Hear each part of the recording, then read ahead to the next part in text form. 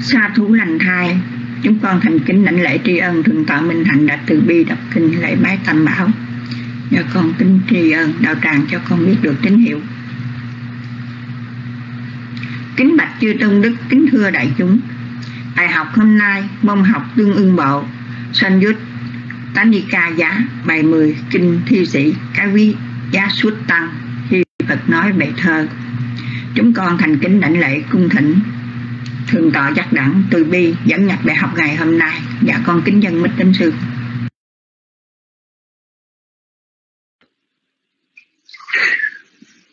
Nam Mô Bích Thầy dạ. Kính đại lễ chư tôn đức thân chào tất cả quý Phật tử à, Thưa quý vị à, Một trong những cái đặc tính của giáo Pháp đó là sokato Phakawata Thammo tức là Pháp được Thế Tôn khéo giảng hay là khéo thuyết? Và đi xa hơn nữa khi nói được chánh pháp được khéo thuyết đó, thì ờ, ở trong kinh có đề cập đến mà cũng lấy từ lời của Đức Phật dạy đó là với văn nghĩa cụ túc tức là với đầy đủ cả hai phương diện từ ý nghĩa cho đến lời văn hay là cách trình bày. Và khi nói đến văn nghĩa cụ túc đó thì ờ, chúng ta không thể đơn giản học Phật qua một vài cái ý niệm về Pháp, mà chúng ta còn đi sâu vào trong kinh điển. Một phần của cái hình thức trình bày trong kinh điển đó thì liên đến cái nền văn hóa, hay nói thẳng ra là văn học nghệ thuật của người Ấn Độ, và nó cũng là cả cả nhân loại nhân loại thì ờ, vốn không phải chỉ ăn một món ăn mà có cách đơn thuần mà lại có kèm theo những thứ khác. Những vị nào đã sống ở tại miền Nam thì mới thấy rằng tại sao những quyển sấm giảng hay là những ca dao lại phổ thông. Người ta đôi khi nói rằng đó là những thứ gì không cần thiết à, mình nói ý nghĩa gì đó thì mình chỉ uh, thuyết một bài pháp mình viết bài văn là đủ. Nhưng mà thật ra một bài văn xuôi hay là một bài pháp đôi khi nói rồi người ta không nhớ. Nhưng mà qua một vài câu thơ lục bát thì người ta nhớ. Và do vậy ở hậu bán thế kỷ 20 đó người ta thấy rằng có rất nhiều nhà tu ở miền Nam Việt Nam đó, đã đi vào trong lòng quần chúng bằng những câu thơ lục bát. Giống như là uh, sống giản người đời, sống giản ông vải bắn khoai, vân vân. Thì thưa quý vị ờ, thi ca hay là ca vịnh Gatha đó là một bộ phận lớn ở trong văn học của Ấn Độ. Và khi chúng ta đi vào kho tàng kinh điển của đạo Phật, thì chúng ta thấy rằng rải rác đó đi, đặc biệt là ở trong Kuta Kadika Nika giá, tức là tiểu bộ kinh, thì lại chứa đựng cả một cái bộ phận lớn những bài kinh những câu Phật ngôn mà ở dưới hình thức của thể thơ hay là thể thi kệ. Ở trong đó chúng ta phải kể những tác phẩm nổi tiếng như là uh, cảm hứng ngữ hay là Suttanipata là kinh tập hay là Thammapada là pháp cú. Và uh, ngoại trừ tạng uh, thắng pháp tạng ra thì kinh tạng và lục tạng thì thưa quý vị đó đây rất có thể nói rất nhiều. Hôm nay thì chúng ta lại nói về thơ. Và sẽ chúng tôi phải dài dòng trong phần dẫn nhập như vậy là chúng tôi ngại rằng một số vị sẽ nghĩ rằng tại sao một cái, những cái câu hỏi mà nó có tất cả là không liên hệ đến Phật pháp, mà lại Đức Phật, được Đức Phật trả lời là trả lời từng câu một, từng chữ một. Nhưng mà kỳ thật thì à, đây là một trong những điểm then chốt mà khi chúng ta bước vào ở trong thế giới Phật học rất cần để biết để cảm nhận và để hòa mình vào trong cái thế giới mà chúng ta gọi là văn nghệ cổ trúc đó. Bây giờ thì ờ, mời quý Phật tử đọc cho phần chánh kinh, chậm phần, phần bài học và sau phần bài học chúng ta sẽ nghe ờ, ý nghĩa được giảng giải từ thượng tọa Pháp Đăng, vị giảng sư của chương trình ngày hôm nay.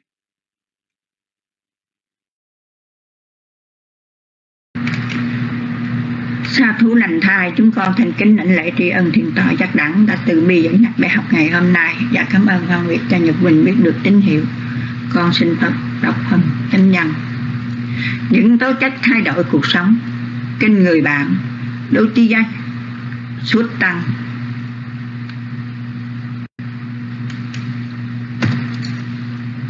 Chương một, tương ưng chư thiên phẩm già. Con người thường tìm sự nương tựa, trợ giúp từ bên ngoài để cải thiện cuộc sống. Khi được hỏi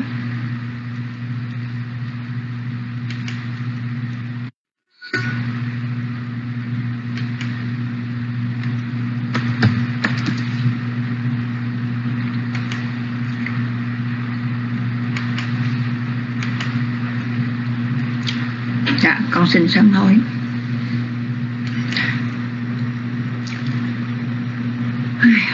những tố chất thay đổi cuộc sống. Kinh thi sĩ.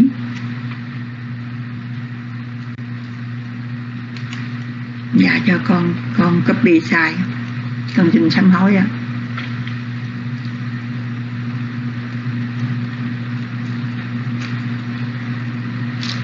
kinh thi sĩ Phật nói về thơ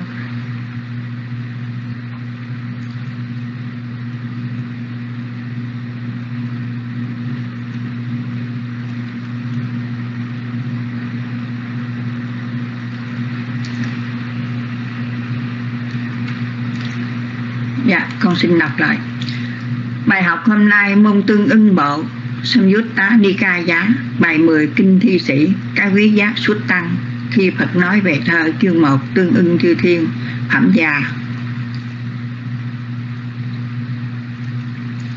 Thi ca là cảnh giới thân quen nhưng lại khó định nghĩa trong văn hóa nhân loại. Đôi khi chỉ hai câu lục bát mà duyên trợ cả câu chuyện, không cần một khuyên khúc dài nhưng chỉ đủ nhưng đủ nhạc tính để đi vào lòng người, chẳng có ma thuật, nhưng thơ đi vào mọi ngõ ngách của cuộc sống. Trong văn hóa ấn, tất nhiên kể cả văn hóa phật giáo, thi ca có một vị thế đặc biệt. Kinh vê đá chứa đựng nhiều bản thánh, thi truyền chứa điều chứa đựng nhiều bản thánh thi truyền đời. Khó có một nghi lễ nào của ấn giáo, thiếu những chữ Gatha ca vịnh bài kinh này là một trong số những bài kinh rất hiếm hoi trong kinh điển ghi lại những câu hỏi. Thoạt nghe dường như nằm ngoài đạo lý giác ngộ giải thoát của Phật Pháp. Đức Phật không từ chối trả lời mà đáp lại từng câu, từng chữ. Cõi thơ thường mênh mang nhưng lời Phật dạy thì tinh xác rõ ràng. Cảm nhận về thơ là cái gì đại đồng của nhân loại Nhưng không vì thế mà không có gì biệt không phải, những cái chi thiết không có khuôn phép, hiểu được bản chất của cả chân lẫn tục. Để những bậc giải thoát sức nhập tự tại, dù trong sự an trú nội tại, hai phương tiện hoàng hóa độ sanh. Kinh văn, vật gì nhân cậy tùng vật gì làm tự cứu, vật gì kệ y cứ, vật gì kệ an trú. Âm vận nhân cậy tùng văn tự làm tự cứu.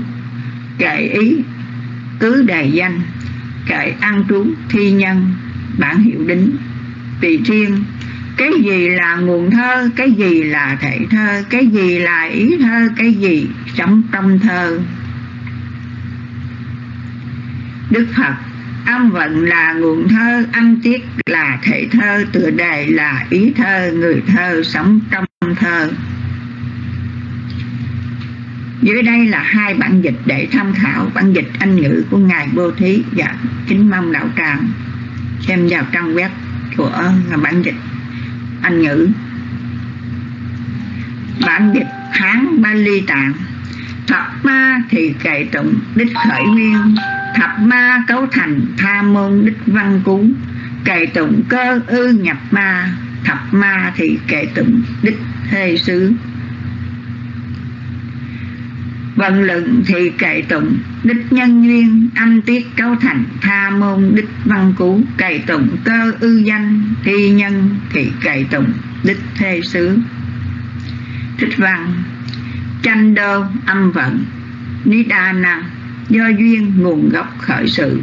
Ga tha, vần thơ, ca bình akhara, âm tiết. Vi chanh chanh năng, văn cú thể loại ngữ cảnh. Na sa na na san nis sisa ý cứ trên, tựa đề dựa trên. Tình thơ, bài thơ, ca quý, thi nhân. Gatha Nama Sayo Gatha cộng Ana cộng Amu cộng Asayo sống trong cõi thơ. Thích nghĩa âm vận khơi nguồn cho thi ca bởi vì đó là bước đầu tách biệt giữa văn xuôi và văn vận Thi nhân nương theo âm vận mà bước vào cõi thơ. Âm tiết tạo thành thể thơ như trong văn hóa Việt nói về thơ ngũ ngôn, thơ lục bát, thơ song thất lục bát. Tựa đề nổi lên ý thơ, hai tứ thơ, với ngôn từ kiệm lời, ý tứ, hàm xúc mà những luyến lái trong tâm âm vận, đôi khi chỉ còn cách đọc được tựa đề mới liên tưởng được ý chính của bài thơ. Thi nhân sống trong thơ bởi vì phải bơi lội hít thở trong cõi thơ thì mới có thể cảm nhận sâu sắc nhạc của vần điệu ý tưởng của ngôn từ và sự độc đáo của một bài thơ hay dịch giả hạnh thích minh châu biên soạn giáo trình. Thượng tọa giác đẳng chúng con thành kính lãnh lễ cung thỉnh. Thượng tọa pháp đăng, từ bi giảng dạy ngày hôm nay, và con kính dân mít đến sư.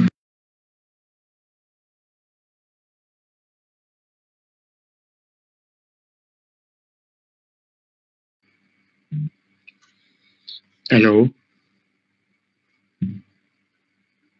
Dạ yeah, cảm ơn quý vị. Um, bữa hôm nay thì uh, mình học một cái bài một cái bài kinh. Và cái bài kinh này đó thì uh, là thi nhân uh, nhưng mà chúng ta là phật tử đó, thì uh, chúng ta hiểu. Uh, bốn vô ngại giải đó thì có pháp vô ngại nghĩa vô ngại uh, ngôn ngữ vô ngại là biện tài vô ngại. Thì ngôn ngữ ờ, để diễn đạt Ờ, cái lý pháp. Nhưng mà ở đây thì ờ, chúng ta thấy đức phật thì trả, chỉ trả lời ờ, cách trả lời nói về những cái văn cú nói về những cái âm điệu nói về ai là ưa thích những người thi thơ. Ừ. nhưng mà nếu chúng ta là phật tử thì chúng ta hiểu rằng cái ngôn ngữ để diễn đạt à, nhưng mà rồi chúng ta cũng hiểu được ở trong cái phần vi diệu pháp nói về chân đế và tục đế đó à, thì có danh chơn và phi danh chơn. À, thì um, con người đó thì à, chúng ta biết rằng à, lỗ tai á, đó là một trong sáu cái giác quan à, để tiếp xúc mà với cái cảnh thinh. Và những cái âm điệu những cái văn vần những cái thi thơ đó à, có nhiều khi đối với cái căn tánh của chúng sanh à, đối với à, chúng sanh ưa thích à, chúng ta thấy như trong cái bài kinh đế thích à, sở vấn đó. À, thì cái à, cái vị thiên tử này xuống hỏi đức phật đó, rất là nhiều những cái bài thơ. Và những cái bài thơ với cái tình lý đó à, vừa là à, tình lý đời và cái lý đạo à, mà nó hòa quyện với nhau. À, như vậy thì chúng ta thấy rằng đức phật á, là một cái bậc đại giác và ngài cũng là một cái bậc à, thù về à, những thi thơ. Chúng ta thấy ở trong kinh như là lời nói trong bài học đó thì chúng ta thấy bốn trăm hai ba bài kệ ở trong uh, kinh pháp cú đó là những cái bài kệ mà khi mà chúng ta uh, nghe là mano bút băng ma tham ma mano sutta mano maya à, thì chúng ta nghe những cái bài kệ à, có cái vân vận âm à, vần lên xuống à, mà được đức phật ngày thuyết và một cái câu mà rất ngắn gọn thôi. Nên thường thường chúng thấy trong kinh pháp cú đức phật thì nói rằng nếu mình nghe được một cái câu đó một cái câu um, pháp cú đó à, nó hữu ích đó à, thì dù mình có nghe một ngàn một triệu lời vô ích đó nó cũng không bằng một cái câu mà hữu ích một cái câu mà nó làm cho tâm tư mình lắng động.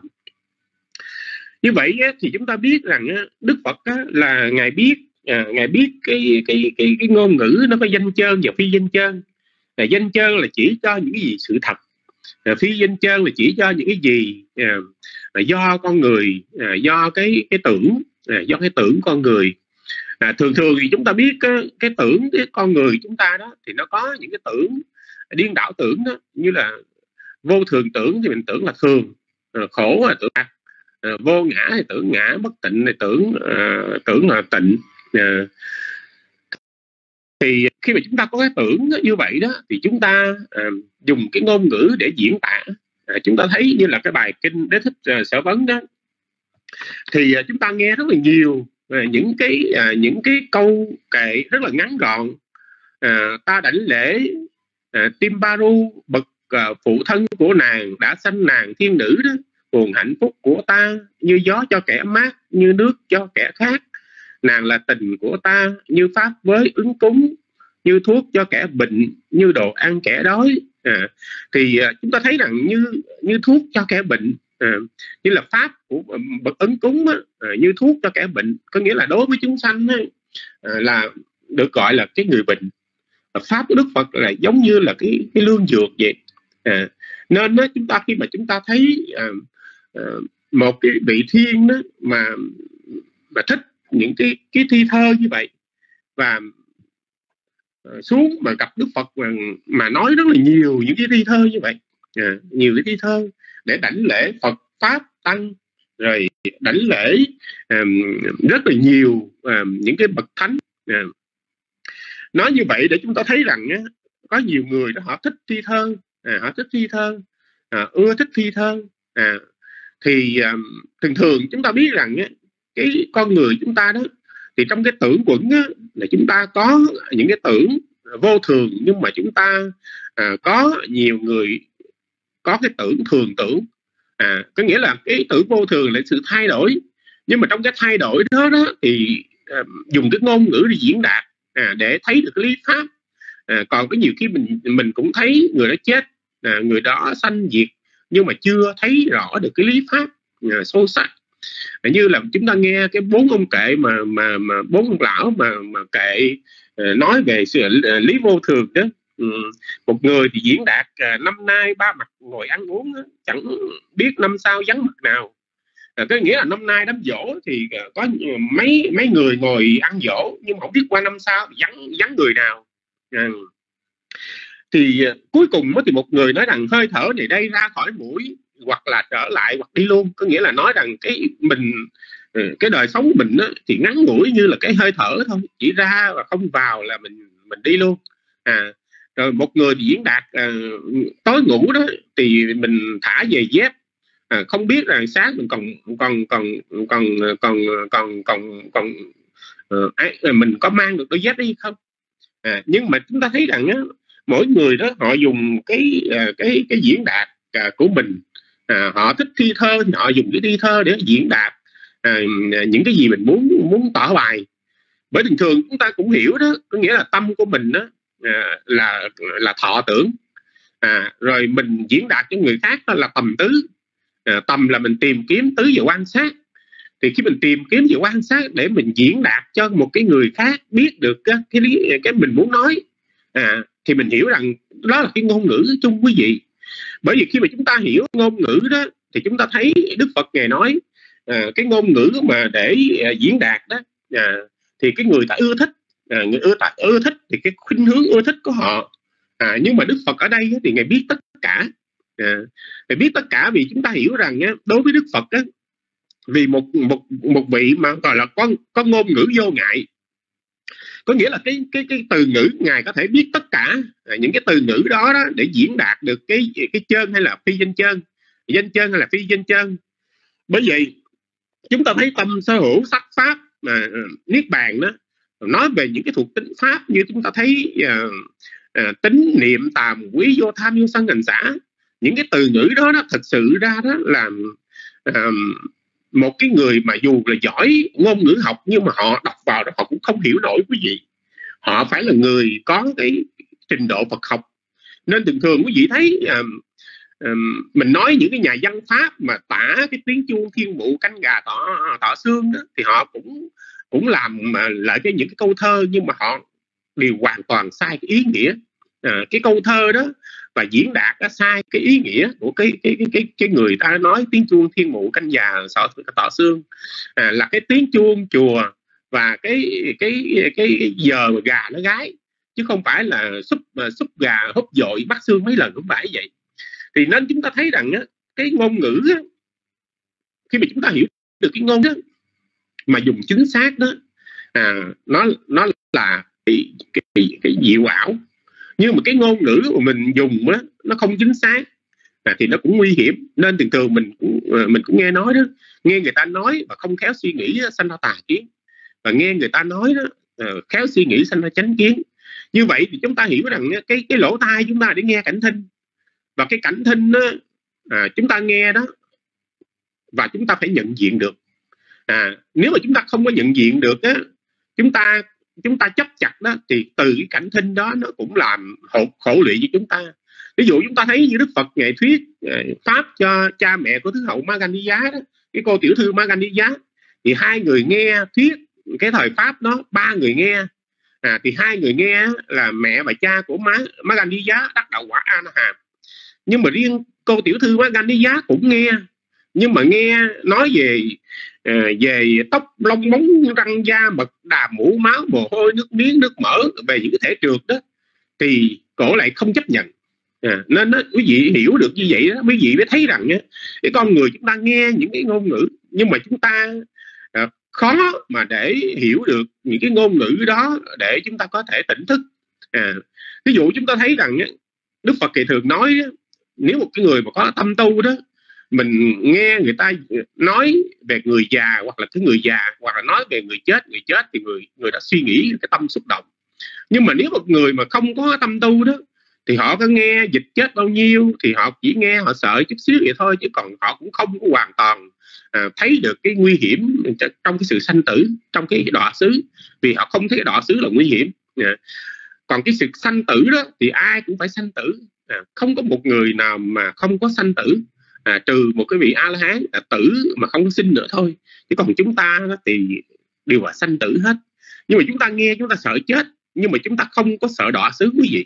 À, bởi vì nếu mà chúng ta chết à, từ kiếp làm người chúng ta sanh làm chư thiên hay là từ cái kiếp phàm mà chúng, ta chết mà chúng ta đắc được quả thánh à, trong cái cái lúc lâm chung á, mà có thể đắc được thánh nhân á, à, thì cái điều đó là điều rất là quý.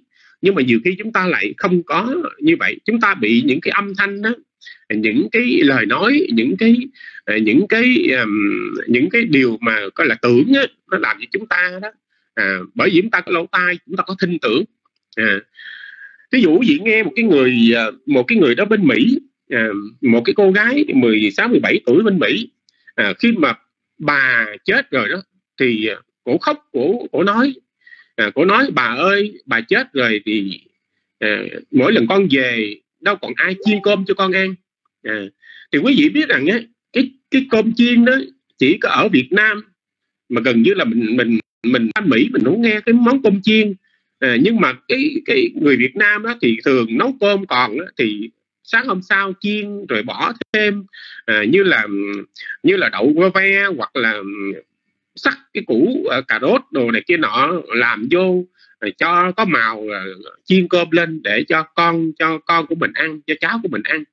Nhưng mà nếu mà qua bên Mỹ thì quý vị sẽ không có uh, những người sanh ở bên Mỹ thì không có biết những cái điều đó. Yeah. như vậy thì khi mà chúng ta nghe cái cô này cổ khóc cổ than như vậy đó thì chúng ta biết rằng á à, cái bà nội này đó thường chiên cơm trở lại hoặc là à, chiều hôm trước nấu cơm nhiều hơn chút xíu rồi sáng trở lại chiên cơm đó cho cho cháu của mình ăn đi làm. À như vậy thì chúng ta thấy rằng á, những cái cái cái cái tưởng đó cái tin tưởng đó khi mình nghe người ta nói và mình nhớ lại những cái điều gì nó ở có ở quốc độ này nó không có quốc độ kia à, có ở chỗ này và không có chỗ kia mình mình hiểu như vậy.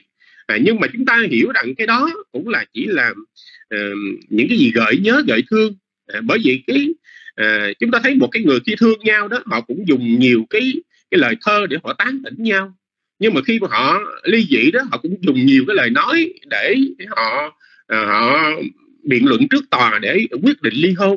À, nên chúng ta thấy rằng á, cái ngôn ngữ đó à, cái ngôn ngữ à, diễn đạt đó người ta ưa thích. Nhưng mà rồi cái cái lời nói mà đức phật thì muốn nói ở đây đó chúng ta thấy rằng người nào họ có cái khuynh hướng thiện hay ác đó cái lời nói của họ nó cũng có khuynh hướng hướng của thiện ác.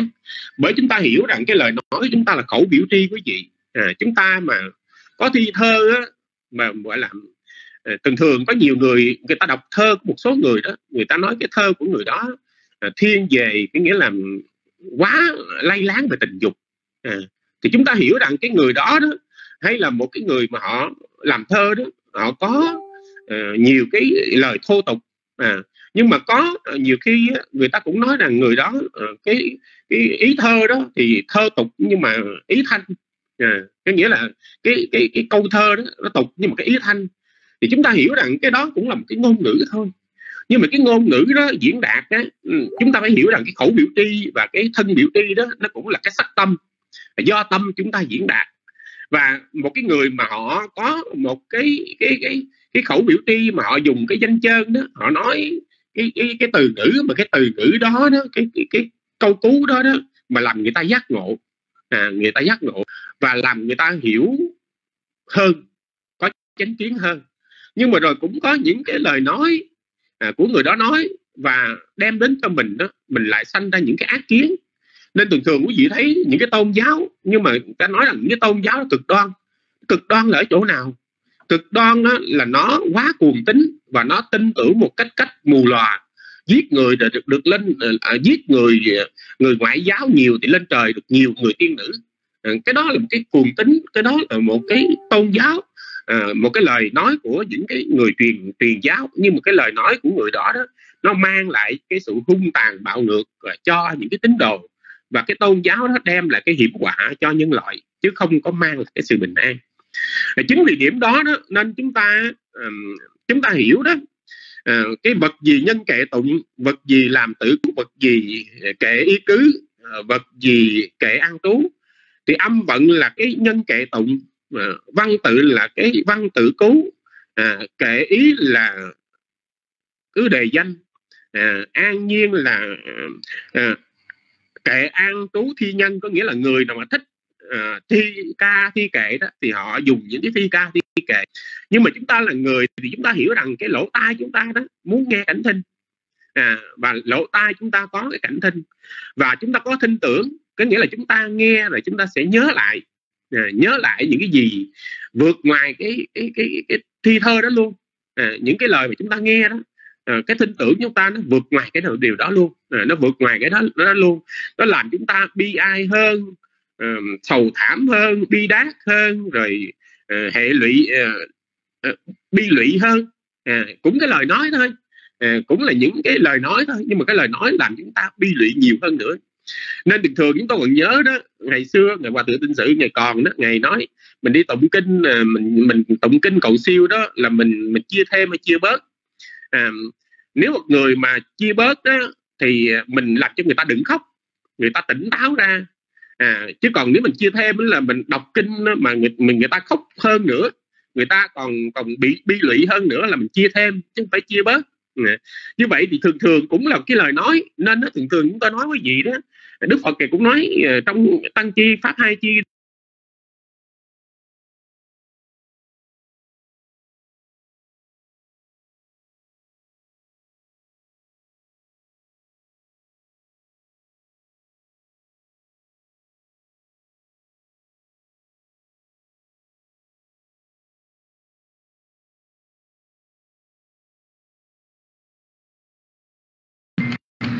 Dạ con thỉnh sư cầm mic trả lại bạch sư.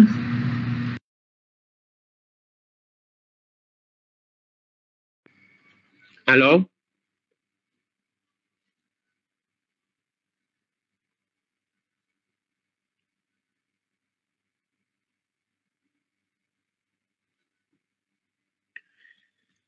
Dạ thưa quý vị nghe lại chưa quý vị? À, nếu quý vị nghe rõ thì chúng tôi hiện giờ chúng tôi thấy như nó, nó à, chúng tôi thấy nó còn quay quay nhưng mà chúng tôi không biết là nó rõ hay không nhưng mà nó còn quay quay. Như vậy thì chúng ta hiểu rằng nhé chúng ta hiểu rằng nhé cái um, cái, cái cái cái bài học mà Đức Phật ngài muốn nói ở đây á, tuy rằng Đức Phật ngài vẫn trả lời cho cái vị uh, vị thiên này khi mà hỏi thì Đức Phật ngài vẫn trả lời. Thì chúng ta hiểu rằng đức phật đó là ngài biết những cái vần điệu à, ngài biết những cái ngôn ngữ lắp ráp mà những cái ngôn ngữ những cái âm tiết đó những cái ờ, những người thi nhân đó họ sống họ thích thi thơ ờ, trong tâm hồn họ thích thi thơ. Thì chúng ta biết rằng đức phật đó là bậc thiên chi đạo sư. Ngài biết người ta thích cái gì và ngài à, dùng cái ngôn ngữ đó để ngài nói à, ngài nói cho người ta nghe và người ta, ta tỉnh ngộ được. À, người ta tỉnh ngộ được. Nên nó chúng ta hiểu rằng á, à, à, cái vần điệu hay là những cái âm tiết đó à, được ừ, à, được à, được ừ, diễn đạt từ A B C D những cái ờ, những cái ờ, những cái ờ, những cái âm tiết được lắp ráp lẫn nhau đó phát ra những cái dần những cái tiếng này kia nọ để mình nghe. Nhưng mà khi mà chúng ta nghe đó thì chúng ta um, bởi vì chúng ta khéo tác ý đó mà chúng ta tìm được cái cái cái pháp và cái nghĩa đó qua cái ngôn ngữ đó. Nên bình thường quý vị thấy một cái người mà thuyết pháp người ta hiểu pháp hiểu nghĩa đó là được thù thắng hơn cũng nói nhưng mà khi mà người ta nói đó mình hiểu pháp mà không hiểu nghĩa. Có nhiều khi hiểu nghĩa mà không hiểu pháp có nhiều khi hiểu pháp hiểu nghĩa luôn. À ví dụ như nói pháp bất thiện á, thì chúng ta hiểu cái nghĩa bất thiện là bệnh hoạn là không không khôn là không khôn ngoan là không sáng suốt là lỗi lầm là cho ra quả khổ. Thì chúng ta hiểu những cái pháp bất thiện có cái nghĩa bất thiện là như vậy. Nhưng mà chúng ta cũng hiểu được cái pháp thiện á, là những cái nói về như là những cái thiện giữ giới hay là bố thí hay là tu thiền hay là thính pháp hay là cải chánh chi kiến hay là cung kính phục vụ hưởng phước thì phước đó, thì chúng ta hiểu rằng cái cái pháp thiện đó nó có ý nghĩa thiện là là tâm hồn nó không có bệnh hoạn là khôn khéo là khôn ngoan là sáng suốt là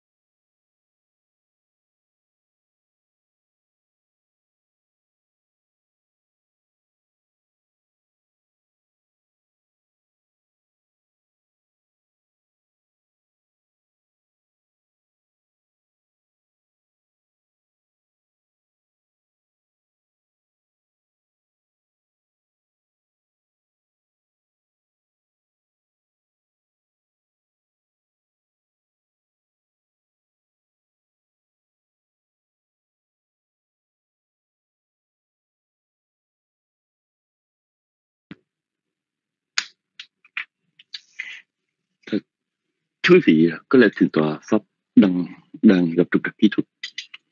Uh, xin uh, để chúng khoan hỷ chờ đợi trong giây lát uh, thượng tọa trở lại. Chúng tôi xin được tiếp lời và Âu dạ thấy thượng tọa đang trở lại. Xin thỉnh thượng tọa cầm mic.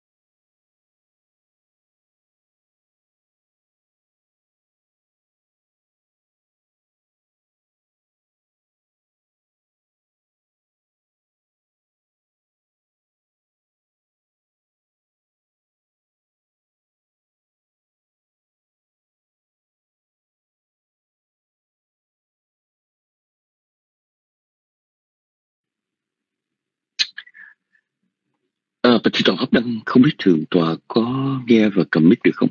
Nếu thượng tọa Pháp Đăng cầm mic được xin thượng tọa khoan hỷ cho biết.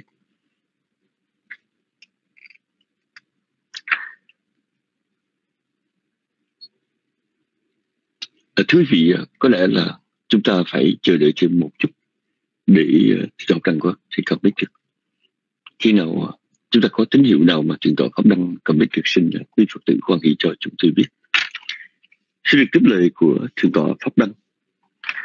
À, có một điều rất là à, thú vị khi mà chúng ta nói về thi ca đó là một con bướm bay ngang một khóm hoa hay là một chiếc lá vàng rơi.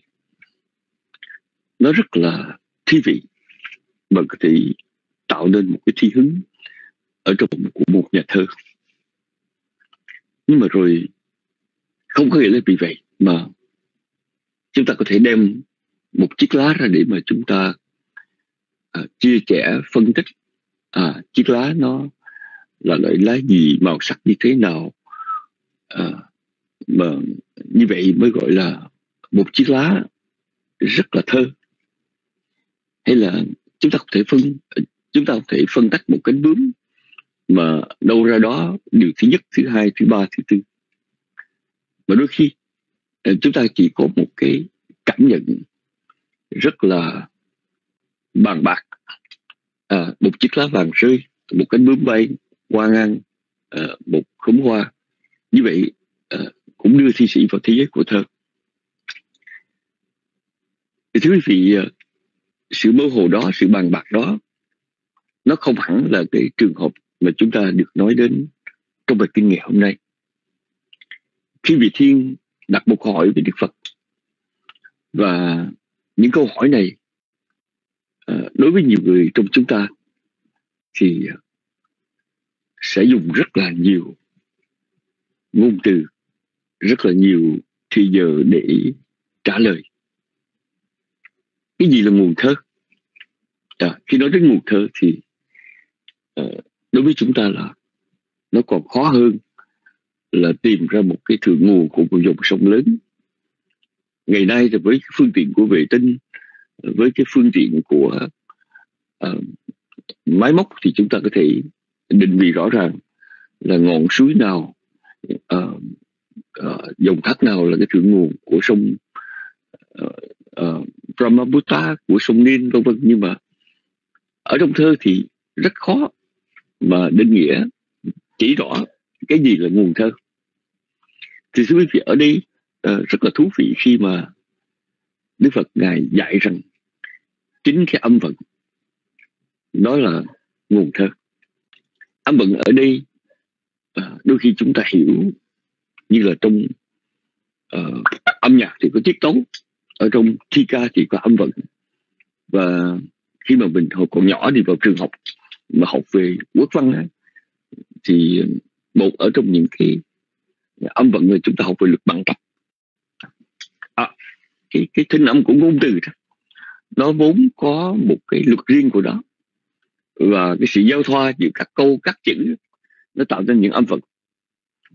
Có những bài đọc văn xuôi rất là xuôi nhưng mà chúng ta đọc miên man thì thưa vị bởi vì nó không có cái âm vận mà được uh, nằm ở trong một khuôn khổ nào đó ở trong một cái cách thế nào đó. Do đó dù rằng cái bài văn đó có hay nhưng mà nó không thể gọi là thi ca không thể gọi là thơ được.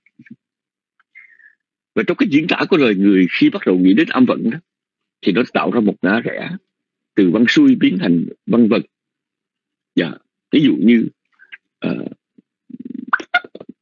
chúng ta nghe câu nói là mẹ già như chú ba hương như sôi nếp dẻo như đường mía lao dạ. Chú ba hương với uh, ương uh, với chữ như đường mía lao chữ đường đó thì uh, ương ương đó là âm phật lục là âm phật. Và uh, nếu chúng ta uh, nói về thơ một cách đơn giản nhất đơn giản nhất trong tiếng việt của chúng ta thường là lục bát. Bởi vì những ca dao thường ở dưới thức lục bát hay song thức lục bát thì riêng về luật bát á, thì chúng ta thấy rằng cái luật bằng rất rất là quan trọng.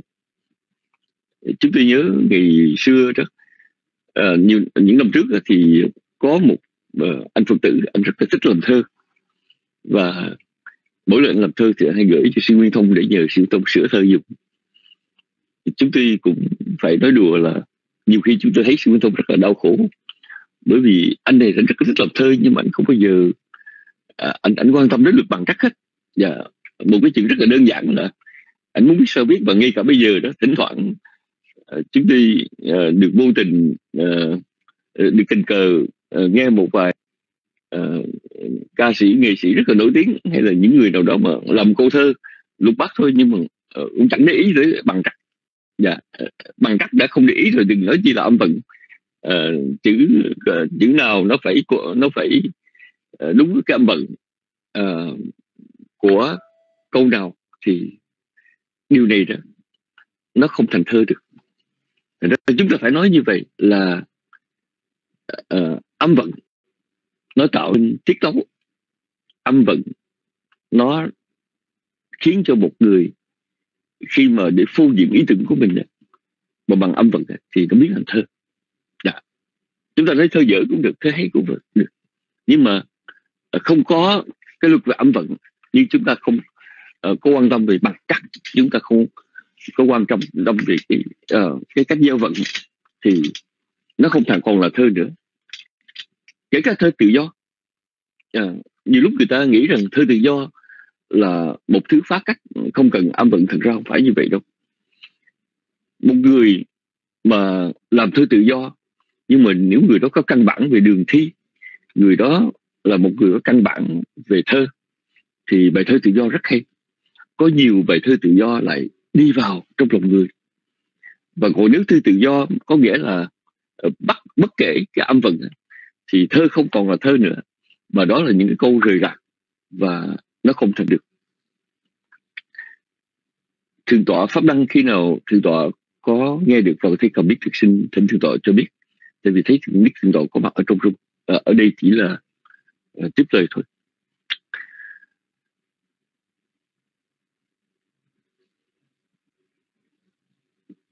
Mà thưa quý vị ờ, một điểm thứ hai là cái âm tiết tạo nên thể thơ. Điều này thì rất là khó rõ nét.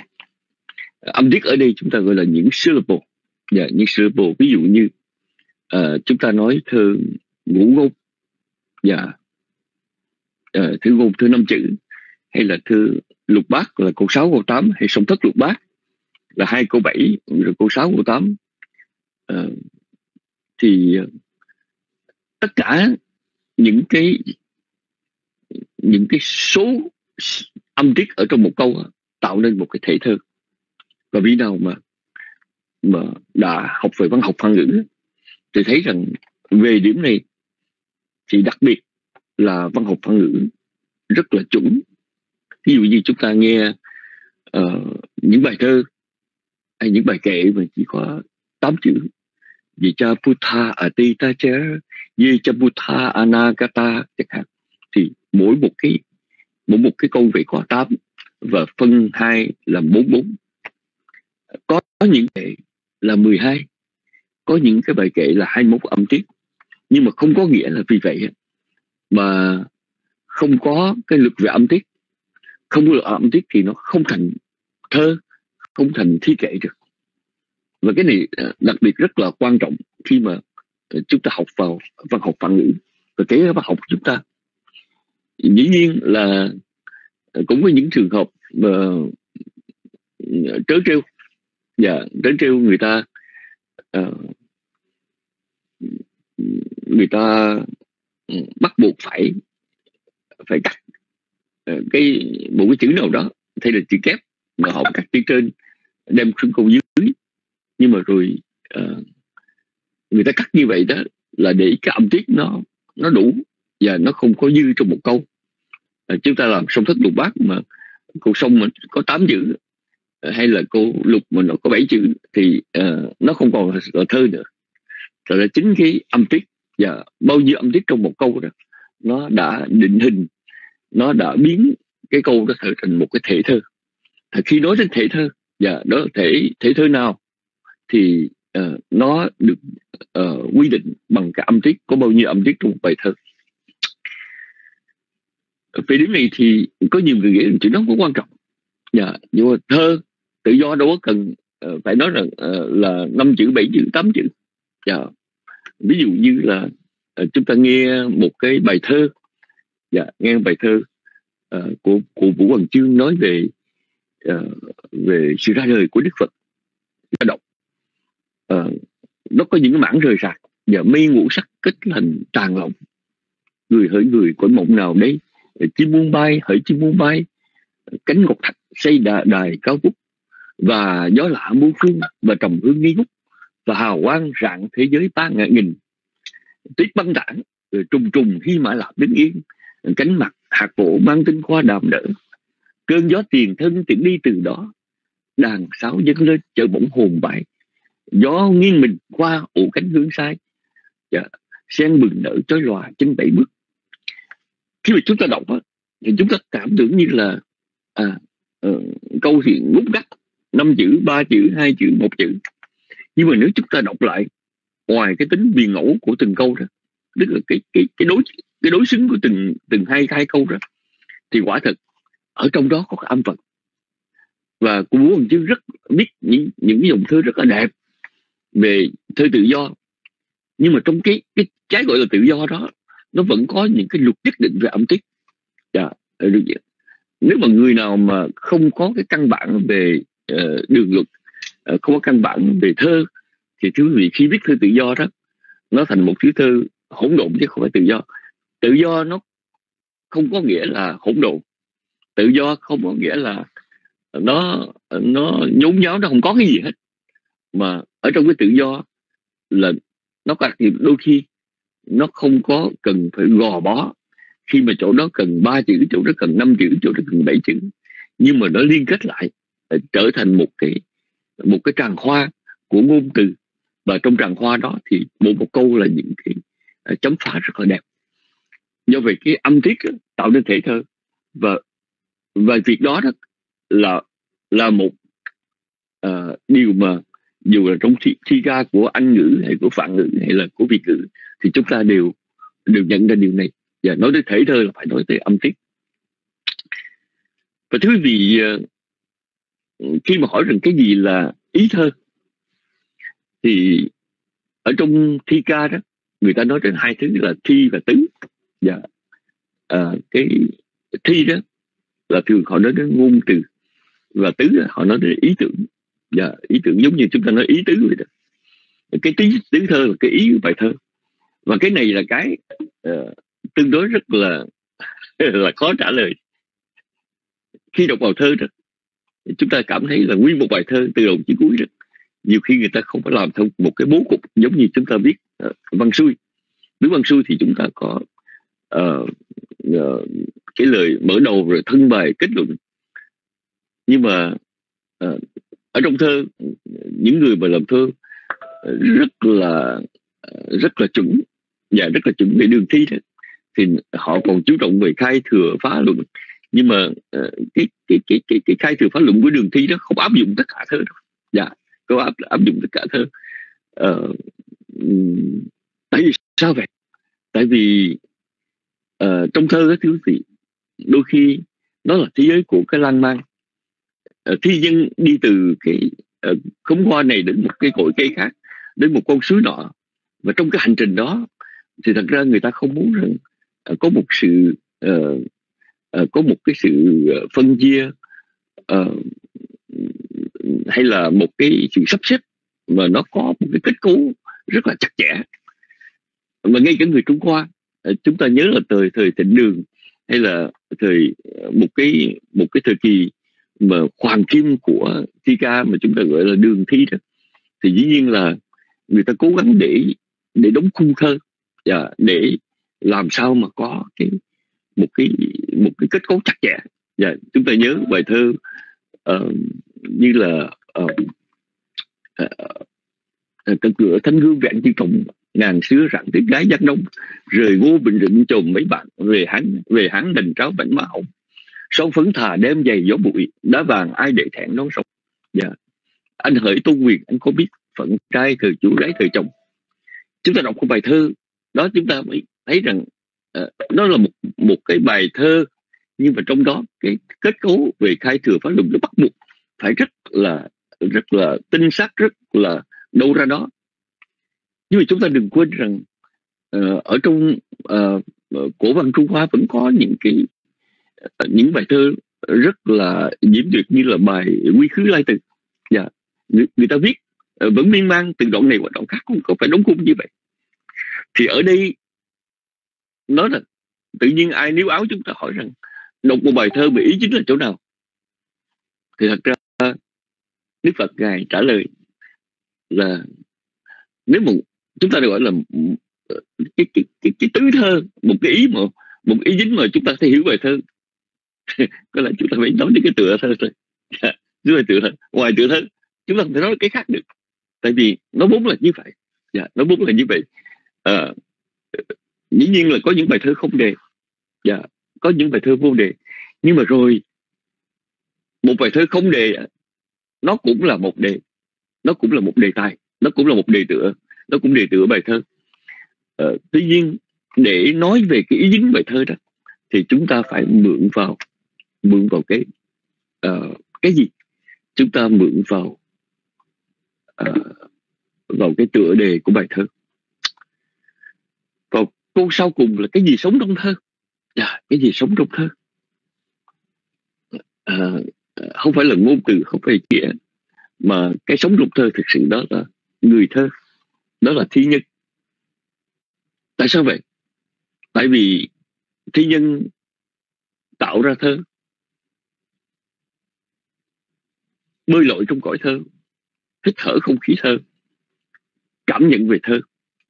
Thì không có thi nhân thì thơ vô nghĩa. Yeah. Thơ vô nghĩa. Cũng như khi chúng ta nói về Phật pháp, chúng ta nói về Phật pháp thì Phật pháp nếu mà chỉ đơn thuần là chữ nghĩa không, thì trở thành vô nghĩa.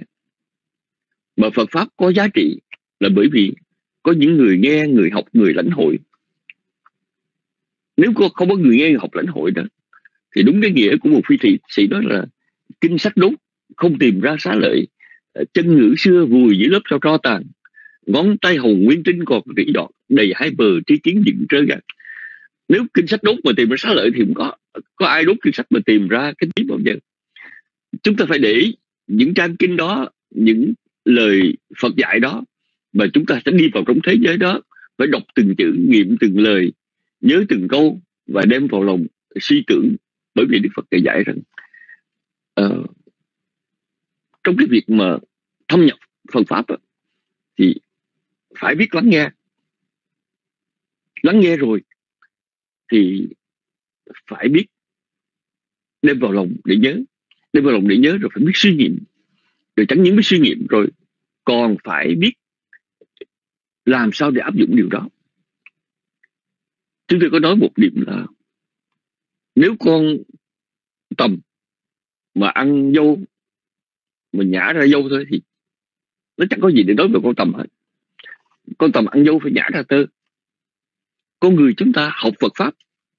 Mà nếu chúng ta chỉ học uh, tên của pháp điều pháp và học chỉ để nhớ thì đúng là con tầm nó ăn dâu chỉ nhả ra dâu thôi. Nhưng mà không. Đức Phật dạy rằng chúng ta học rồi chúng ta phải nhớ. Nhớ rồi phải chiêm nghiệm. Chiêm nghiệm rồi chúng ta đem áp dụng vào trong đời sống. Thậm chí có đôi khi thoát thai. Thậm chí có đôi khi chúng ta sống rất Phật pháp nhưng mà không có dùng tới Phật pháp. Chúng tôi có nghe một người uh, ca ngợi một cái đặc sắc của một thi sĩ uh, của Vũ Hoàng Chương thì dùng nó là của Hoàng Chương đã nói về vô thường nhưng mà không có chữ nào là vô thường hết. Ta còn để lại gì không? Ta còn để lại gì không? Kìa non đã lỡ nọ sống cát bụi. Lang thang từ đủ lương hồi. U minh đều vẫn xa xôi dậm về. Đọc trọn bài thơ chúng ta không nghe nói nhắc chỉ vô thường. Chúng ta nghiệm trong đó những bước chân của sanh tử. Vì vậy vì vậy, nên chi khi mà một cái người đã sống trong thơ thì người đó mới cảm nhận được hơn. Không sống nông thơ thì thứ vị chúng ta chỉ có cái nhìn hơi hợt ở bài nhiều khi uh, chúng ta nói rằng mình đã từng có mặt ở thành phố hoa lệ của Paris chúng ta từng đã đến những thành phố cổ kính của Kyoto. Nhưng mà nếu chúng ta chỉ ngồi trên xe lửa thoáng qua hay là chỉ bước xuống đi vài ba cây số rồi trở về uh, là quên bẵng đi mình nói có mặt ở đó thì thật sự không có mặt ở đó đâu mình phải thực sự đến hiểu về lịch sử về văn hóa về những cái nét độc đáo. Và đôi lúc chúng ta ngồi một cách rất là im lặng trong một chiếc ghế công viên nào đó để cảm nhận về một cái sự hình thành sự tồn tại của một cái thành phố mà có uh, suối chảy có uh, những cái căn nhà cổ kính có những con người đã từng sống từng chết ở tại đây và đã có những cái vật đổi sao dời theo thời gian như thế nào.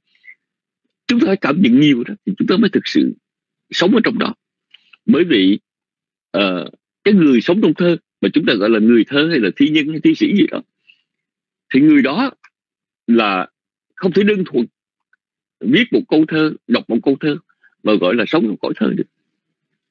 Thì quả thực là uh, những điều đức phật dạy đó phải là điều bàn bạc không phải là điều mơ hồ mà dạy rất rõ rất rõ lắm. Âm vận là nguồn thơ âm tiết là thể thơ tựa đề là ý thơ người thơ. Thì sống trong thơ. Dạ. nhưng mà không nghĩa là vì vậy mà những câu trả lời của đức phật lại lại đi ngược lại với cái gì mà chúng ta gọi là mênh mang bàn bạc của thơ. Cái mênh mang bàn bạc thơ là một câu chuyện khác. Nhưng mà thơ là một cảnh giới của thi thiết. Thậm chí đôi khi cảnh giới của mộng ảo của hư vô. Nhưng mà ở trong cái thi thiết đó, đó nó vẫn có những cái luật nhất định. Và quả thực là đức thế tôn ở trong một cái vị thế của một bậc tiên thuyết chánh pháp thì ngài đã dùng rất nhiều thơ, rất nhiều gatha để mà giảng dạy đạo lý. Chúng tôi có một lần à, ngồi nói chuyện với hòa thượng hộ giác. Hòa thượng hộ giác là à, có thể nói là một vị mà học giả về phản ngữ Ờ, tiếng phạn nó nằm ở trong ruột, ở trong gan, ở trong tim ốc của hòa thượng yeah. Dạ. thì có lần hòa thượng nói một điều rằng, thật là khó có thể tưởng tượng, thật là khó có thể tưởng tượng là ở trong một cái nền văn hóa, ở trong một thế giới, mà đôi khi người ta chỉ nói lên một bài kệ ngắn mà Đức Phật Ngài trả lời một loạt rất nhiều bài kể dài. Ngày hôm nay có nhiều khi mà chuyển dịch sang Việt ngữ đó thì chúng ta không có tìm thấy được cái những cái đẹp của những cái vần thơ mà Đức Phật dạy. Tại vì ở trong cái cái giới hạn của chuyển dịch đó, thì nhiều lắm là chúng ta chỉ cái chiếm tải cái ý nghĩa thôi. Giống như là bây giờ Ờ, uh, truyện kiều của Nguyễn Du. Nếu mà nói truyện kiều Nguyễn Du đó mà về chuyển dịch đó, thì người ta chỉ có thể chuyển dịch những cái tình tiết. Người ta chuyển dịch câu chuyện. Và tình tiết câu chuyện đó, đó thì nó chỉ là giống giống như cái tác phẩm đoạn trường uh, Tân Thanh của Thanh Tâm Tài Nhân. Người đã viết ra một cái quyển truyện ngắn và nếu chúng đọc truyện ngắn đó đó thì thật ra cái tình tiết nó cũng nó có gì quá đặc biệt. Như là của Nguyễn Du khi đọc đoạn trường Tân Thanh người ta chuyển sang chuyển sang truyện Kiều cho những án văn bất hủ mà chúng ta chúng ta đã nghe chúng ta đã đọc đã đi vào trong văn hóa như vậy thời bây giờ khi mà chúng ta dịch truyện kiều sang tiếng anh tiếng pháp đó thì tiếng vị chúng ta chỉ dịch được những tình tiết và người nào khéo lắm á, thì thì viết thành những cái bài thơ nhưng bảo rằng có thể diễn tả hết cái đẹp cái ống ả à, cái bóng bẩy của, của Nguyễn Du thì chuyện đó không có rất khó. Thì bây giờ chúng ta đọc một câu kinh có thể là một câu kinh nhật tụng. Chúng tụng một ngày và một vị chư thiên Phật trong một đêm tối đến bạch với Đức Phật. Chư thiên và nhân loại mong cầu uh, điều hạnh phúc. Những bạch Đức Khi Tôn sinh ngài vì bi mẫn giảng dạy cho chúng con về những cái điềm lành tối thượng. Dạ. Thế Tôn tùy lời hỏi rồi giảng giải như vậy. Không gần gũi kẻ ác thân cận bậc trí hiền đánh lễ người. Uh, đáng lễ là phúc lành cao thượng ở trú sự thọ trú sự thích hợp. Ờ, công đức trước đã làm chân chánh hướng từ tâm là phúc lành cao thượng. Chúng ta đọc chúng ta học thuộc. Và nếu cần thì chúng ta tuôn ra từ cái cửa miệng chúng ta là ồ đó kinh như vậy lời như vậy. Nhưng mà quả thực nếu quý vị nghe kỹ lại, những bài đó, chúng tôi không nói những bài đó là những bài dở, nhưng mà thật sự để chuyên chở hết cái hay của bài kệ, và khi Đức Phật à, Sevana chập năng Bandita năng, chập Sevana Puja chập Puja Niya năng E tăng Mang là bít mang thì không có. Không có. Dạ. Một cái vị mà đọc phản ngữ, một cái vị mà đi vào thế giới của thơ phản ngữ, cảm nhận cái đẹp phản ngữ, tức là phản ngữ, cái cái ngôn ngữ nó thấm vào thì đọc những những cái bài phản ngữ rất là thấm thiết và rất là đẹp. Và không phải một trường hợp mà nhiều trường hợp, không phải trường hợp mà vô số trường hợp, Đức Phật ngài đã trả lời như vậy. Và ngài trả lời trực tiếp và với những bài kệ rất dài. Cái một cái thành ngữ mà người Việt Nam nói xuất khẩu thành thơ, cái đó nó không đủ, không để đi diễn tả về Đức Phật. Trong số đề tử Phật có một vài Đức Phật có khả năng tương tự như vậy. Yeah. Gần như là Ờ, đi bảy bước viết thành một bài thơ. Nhưng mà tất cả những đệ tử không ai bằng Đức Phật. Không ai bằng Đức Phật. Đức Phật là chúng ta đọc ở trong kinh mà ờ, uh, còn quý vị đi vào trong Kutaka Nikaya tiểu bộ kinh những bộ kinh như là Uda uh, ờ, cảm hứng nhận ngữ hay là uh, Suttanipata hay Thammapada đặc biệt Suttanipata uh, ở trong đó là chứa đựng toàn là ca vịnh toàn là gatha, toàn là thi ca. Và tất cả những thi ca đó Đức Phật không có ngồi đó để mà viết và sáng tác. Mà Đức Phật, ngài xuất khẩu, ngài nói tại chỗ. Và không phải ngài xuất khẩu không, mà ngài đáp ứng những ý nghĩa, những nghĩa lý. Có vị nào đã đọc từ bí kinh? Kinh từ bí có nhiêu đầu là kinh hạnh phúc. Chúng ta biết là bao nhiêu chi pháp, bao nhiêu liệu pháp được cố gắng trong đó. Nhưng miễn điều đó đức thế tôn ngài từ kim khẩu, ngài nói lên. Ngài nói rất rất trực tiếp rất rõ ràng, rất nhanh từng điều một. Và khi tất cả những điều đó kết cấu thành những cái bài thơ, ngày hôm nay chúng ta dịch theo thể gọi là kỳ ngũ ngôn, chúng ta dịch rất là thoát thỉnh thoảng có vài người như là phạm thiên thư cố gắng để thi hóa kinh pháp cú ờ, trở thành cái việc xuống nguồn vi diệu. Nhưng mà phạm thiên thư khi mà thi hóa đó thì nó lại ờ, nó lại làm lên ý nghĩa rất là nhiều, nó pha loãng rất là nhiều. Nhưng mà với đức phật thì ngài nêu lên từng chi pháp rất rõ ràng rất chính xác. Nhưng mà đó là những bài kệ mà mỗi một cái bài kệ có 8 âm tiết. Và Asevana Chapalanang Banditanang Chasevana. Thì câu nào nó cũng liên lạc với câu đó. Và bao nhiêu đề tài bao nhiêu ngôn từ bao nhiêu chi pháp được gói ghém lại đó. Thì thật ra nếu người nào hiểu về thơ hiểu về uh, phản ngữ thì mình cảm thấy rất là kinh ngạc. Và chỉ có Phật mới làm được việc đó. Đức Phật để cho chúng ta một kho tàng, văn nghĩa cụ túc. Nhưng mà chưa chắc là ờ, trong chúng ta có thể cảm nhận được những cái ảo diệu của ngôn ngữ, của sự phô diễn. Đừng nói chi nghĩa lý cao siêu. Cái nghĩa lý cao siêu là chuyện khác nữa. Và Đức Phật ngài đã dạy, không phải một bài, hai bài, năm bài, bảy bài, mà vô số bài kệ chúng tôi nói một cách không có không có sợ lầm, đó là cả một kho tàng vì nào đọc ở trong tam tạng kinh điển. Thì đó là thi ca là cả một kho tàng. Vì vậy ờ, thưa quý vị ờ, chỉ có những người thơ, chỉ có những người thật sự thể nhập và cõi thơ, thì chúng ta mới cảm nhận được hoàn toàn cái gì là thơ. Tất nhiên là ngày hôm nay có người chúng ta à, đi dịch du lịch thật nhiều thì chúng ta nói rằng tôi đã đến đó. Nhưng mà đến một cái thắng cảnh, một cái danh thắng nào đó chưa chắc là chúng ta thật sự cảm nhận nhiều về danh thắng đó. Chúng ta đã nghe một bản nhạc hay, nghe văn bản nhạc hay thì không có nghĩa là chúng ta có thể đem vào lòng trọn vẹn những cái đẹp của tiết tấu những cái diễm lệ của ngôn từ những cái ờ, uh, xuất thần mà một nhạc sĩ đã viết và một ca sĩ đã thể hiện. Hoặc giả là chúng ta ăn một món ngon chúng ta đưa vào trong miệng đến món này ngon.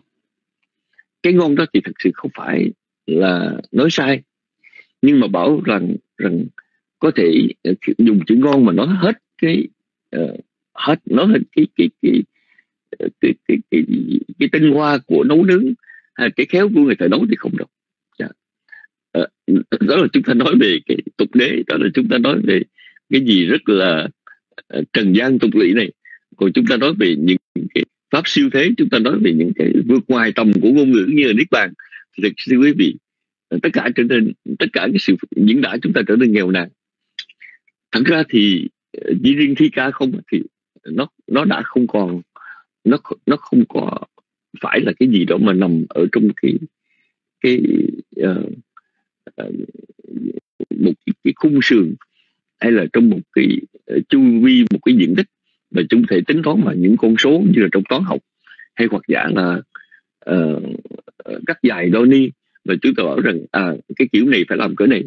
Mà đôi khi ờ, uh, tư thi ca thì có thể vượt qua tất cả làn ranh nhưng mà đồng thời thi ca cũng có thể là đôi khi nó nó nằm ở trong một cái một cái khuôn khổ nào đó. Vì vậy ngày hôm nay trong cái bài uh, trong cái bài kinh này chúng ta nghe có bốn câu thôi. Nhưng mà uh, dĩ nhiên chúng ta không phải là thi sĩ thì không nên không nên lạm bàn quá nhiều. Nhưng mà những câu này phải nói rằng uh, không đơn giản để trả lời. Cái gì là nguồn thơ? Và cái gì là thể thơ? Cái gì là ý thơ? Cái gì sống trong thơ? Nghe thì thật ra nó ai cũng uh, biết một chút chữ nghĩa cũng thể nói được cũng trả lời được. Nhưng mà khi đức phật dạy rằng âm vận là nguồn thơ thì câu trả lời đó không đơn giản. Yeah. Chúng ta uh, chúng ta sẽ thấy rằng tại sao nó không phải là thứ này hay thứ khác mà là nguồn thơ mà âm vận là nguồn thơ. Tại sao thể thơ là tạo nên bởi âm tiết và dạ, âm tiết tạo thành thể thơ. Và tựa đề là ý thơ và người thơ thì mới thực sự sống trong thơ. À, thưa quý vị à, chúng tôi được nghe là thượng tọa pháp đăng đang ờ, bị trục trặc kỹ thuật không có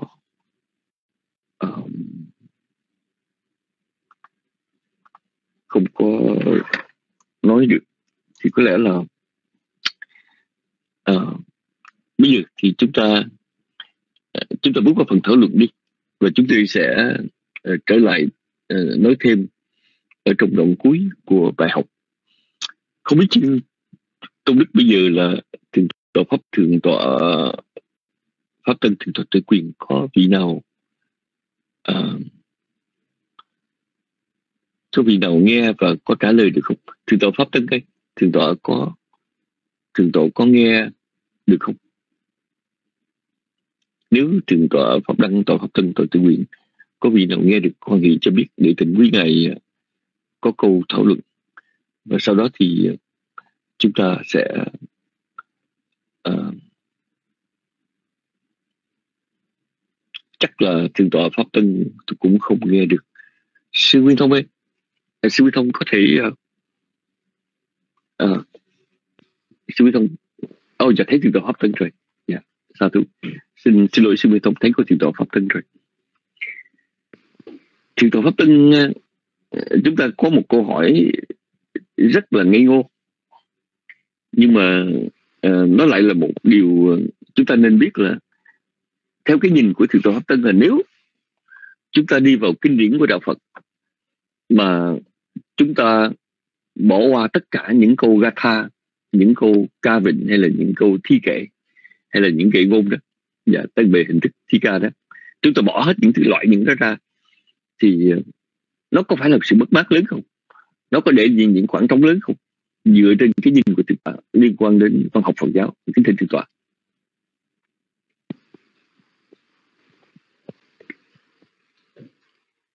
Dạ, Nam mô bút tha Giá, Nam mô Tham Ma Giá, Nam mô sanh Khai Giá. À, con xin thành kính đảnh lễ ân đức Tam Bảo, Đức Phật, Giáo Pháp và Chư Tăng.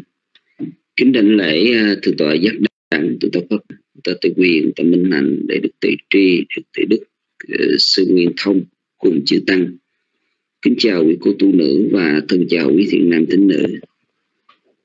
Dạ, kính bạch thượng tọa, ờ, kính ờ, bạch chư Tăng, kính thưa quý vị ở đây đó thì ờ, con nghĩ ở trong văn học và kinh điển Bali của Phật giáo thì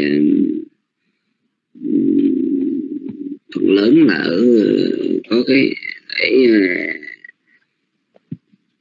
cái thể loại văn xuôi uh, nhiều. Văn dần thì cũng có chút ít. Thì ở đây con nghĩ rằng là cái ờ, cái gì đi nữa thì ờ, ở trong cái ngôn ngữ hay là cái văn chương ấy, thì cũng chỉ là để diễn cái ờ, tô bí hay là cái ý pháp mà được muốn chuyển tải ở trong uh, giáo pháp của Đức Phật nha yeah. uh, bởi vì uh, những bộ kinh uh, con nghĩ rằng ở trong bộ kinh như trường bộ rồi trung bộ tăng chi tương ưng ấy, thì uh, phần lớn là ở cái phần dân dân uh, văn dần rất là nhiều dạ, vâng, rồi à, cũng có một thỉnh thoảng thì cũng có uh, chút ít văn xuôi à, càng về sau này thì con thấy rằng là có những cái thi kệ yeah. Có những thi kệ chẳng hạn như pháp cú thì cũng nằm ở trong thi kệ được xem như nằm ở phần ở ga tha thi kệ thì con nghĩ là đó cũng là một cái cái thể loại để chuyển tải cái lời dạy ừ, của đức phật. Bởi vì à, mình à, đọc kinh ừ, thì chủ yếu là để hiểu cái nghĩa lý ừ, hiểu cái nghĩa lý của Phật dạy, coi cái gì à, Đức Phật dạy gì ở trong cái lời dạy của Đức Phật. Qua các cái bài kinh qua các cái bộ kinh Ờ, để coi ờ, ở đó Đức Phật dạy cái gì. Dạ. Nha từ đó đó thì ờ, mình mới có thể rút ra những cái phương pháp ừ, ừ, tu học hành trì để rồi mình hiểu để mà mình hành trì. Cho nên rằng là à, con nghĩ rằng ở à, chủ yếu là Phật pháp á, là để làm sao để diễn đạt. Ờ, thí dụ như là uh, ngay cả cái uh, theo con nghĩ đó ở trong cái cái suy nghĩ của con cái uh, cái bản dịch à, thí dụ như là kinh pháp cú chẳng hạn à, bản bản dịch của hòa thượng minh châu thì con nghĩ rằng nó có cái tuy rằng cái cái văn á nó không có có dần lắm nhưng mà theo con nghĩ rằng cái cái chủ ý của ngài hòa thượng thì dịch để là uh, chuyển tải nó sát nghĩa với những cái gì đó mà được nguyên văn ở trong uh, cái Bali. Còn à, về sau này thì có những cái cái uh, cái bản pháp cú yeah, những cái bản kinh pháp cú. Nhưng mà ở đó thì uh, có lẽ dịch qua cái thể việt À, việt văn á, thì à, nó có mang cái tính nó, nó nghe nó nó dần hơn nó xuôi tai hơn. Nhưng mà dường như là nó nó nó không có sát cái nghĩa của Bali lắm. Là chính vì vậy cho nên là mình sợ rằng là lâu ngày chạy thắt rồi về sau này cái thế hệ sau này đó sẽ làm mất đi những cái ý chính trong tu ý hay là ờ, cái nội dung ờ, giáo điển hay là những cái thi kệ ờ, ở trong những cái kệ ngôn mà pháp cú đức phật ngài muốn dạy mất đi cái tôn ý chính đó. Ừ, chẳng hạn như là mình đọc những cái thể thơ đó, thì nó có nghe thì nó dễ nghe dễ nghe dễ nhớ, rồi dễ thuộc lòng hơn, nhà dễ thuộc lòng hơn. Ờ, nhưng mà nếu mà mình à, đọc cái uh, dân xuôi á, thì có lẽ là mình chỉ nhớ ý nhớ ý là nhiều. À, và vì vậy đó cho nên là cái dân dần thì nó có cái dễ là à, mình mình mình mình dễ nhớ. À, rồi à, có cái thể thơ thể kệ là dễ nhớ như vậy thôi. Nhưng mà nếu mà không có con nghĩ là cái điều đó đã muốn nói đến cái sự chuyển tải ở trong cái lời dạy của Đức Phật. Cho nên um, um, gì đi nữa thì à, ở đây đó thì à, à, con nhớ ngày xưa có nói cái câu rằng người xưa họ có nói cái câu là vĩ văn tải đạo, tức là mượn văn chương để chuyển tải đạo chuyển tải Phật pháp để tôn ý nhưng mà nếu như mà mình mình mình mình đi xa, đi nặng về văn chương quá, mà rồi là mình xa đi cái tôn ý, cái cái cái chủ ý, hay là cái tôn ý của, ở trong kinh điển đó thì à, rõ ràng đó là cái mất mát lớn. Cái mất mát lớn. Thì dù gì đi nữa, ở trong các cái thể kinh thì con nghĩ phần lớn là dân xuôi còn dân dần thì chỉ ít chút ít nào đó cũng có. Nhưng mà nếu có gì đi nữa thì cũng là chuyển tải cái Phật pháp này nếu mà đi xa hơn thì theo con, theo cái ý của con thì à, cũng cũng à, cũng không nên. Bởi vì à, nếu một cái thế hệ này một người đó là đi xa hơn một chút rồi người sau họ đi xa hơn một chút đấy thì cuối cùng mất đi những cái cái tính chất tốt đẹp, cái tôn ý cốt lõi mà ở trong đạo Phật hay là Đức Phật đã chuyển tải nội dung của một cái kệ ngôn đó hay là một bài kinh đó.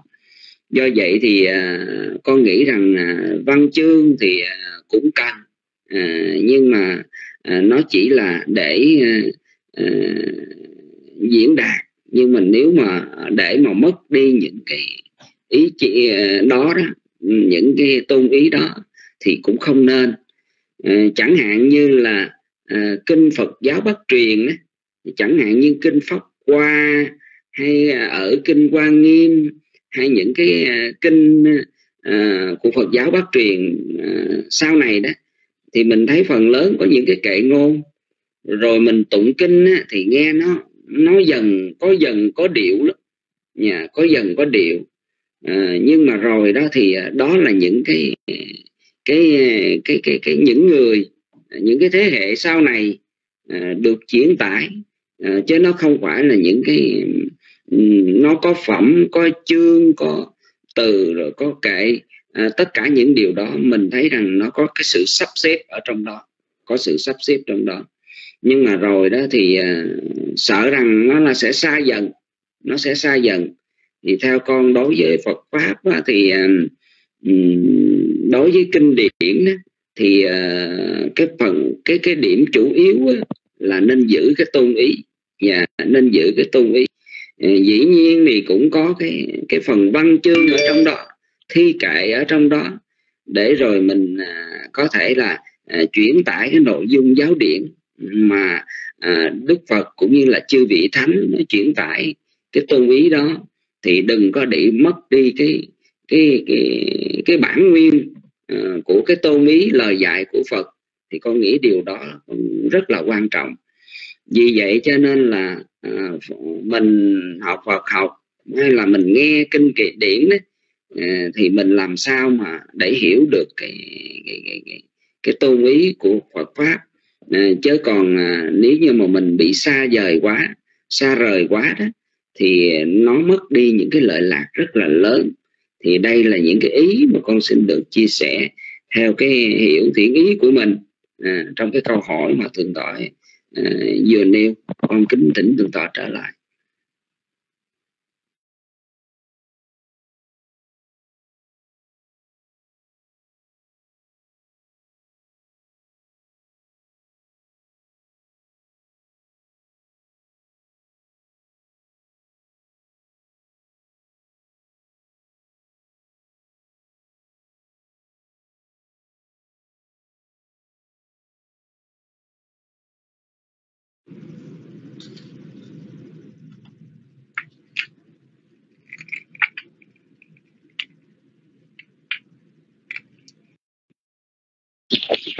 tọa pháp uh, bình sư nguyên thông ơi sư nguyên thông có mặt ở trước máy và sư nguyên thông có nghe được không? Nếu sư nguyên thông nghe được xin à, sư nguyên thông có khỉ à, à, cho biết một vài cái ý kiến của sư nguyên thông là tại sao khi mà nói đến văn học nghệ thuật á, thì chúng ta thấy rằng hai cái uh, bộ môn rất là nổi trội quen thuộc. Đó là âm nhạc và thơ phú. Trong lúc thơ phú á, thì có một cái địa vị nhất định ở trong kinh điển và yeah. trong tam tạng kinh điển thì có rất nhiều như là những bản tha những cái thi kệ mà do chính Đức Phật ngài sử dụng và các đệ tử Phật sử dụng và khi sang bên Trung Hoa Nhật Bản Việt Nam thì chúng ta thấy rằng ờ, thi phú thư phú vẫn được uh, phổ biến một cách rộng rãi và nếu không muốn nói rằng được khuyến khích uh, được trở nên cái gì rất là công khai hợp pháp ở trong sự hoàng pháp ở trong chùa chiền. Một nhà sư là một nhà thơ thì rất là dễ dàng được chấp nhận và thậm chí còn được ngưỡng mộ. Nhưng mà một nhà sư mà là một nhạc sĩ hay một ca sĩ thì ờ, nhiều người sẽ nhướng chân mày lên và có đó hơi khó coi một chút. À, bên thiên chúa giáo thì một vị linh mục mà trở thành một ca sĩ hay là một nhạc sĩ là chuyện rất bình thường. Nhưng mà trong phật giáo thì Ờ, một nhà sư mà là một ca sĩ nhạc sĩ thì nó có vẻ như là khó chấp nhận. Tại sao? Tại sao có chuyện mà uh, thơ phú thì lại, lại được uh, được chấp nhận được ưa chuộng mà âm nhạc thì có vẻ bị kỳ thị như vậy? Chúng tôi dùng chữ kỳ thị cũng hơi cũng hơi tạm dùng thôi. Xin uh, thấy ý kiến của sư Nguyễn Thông.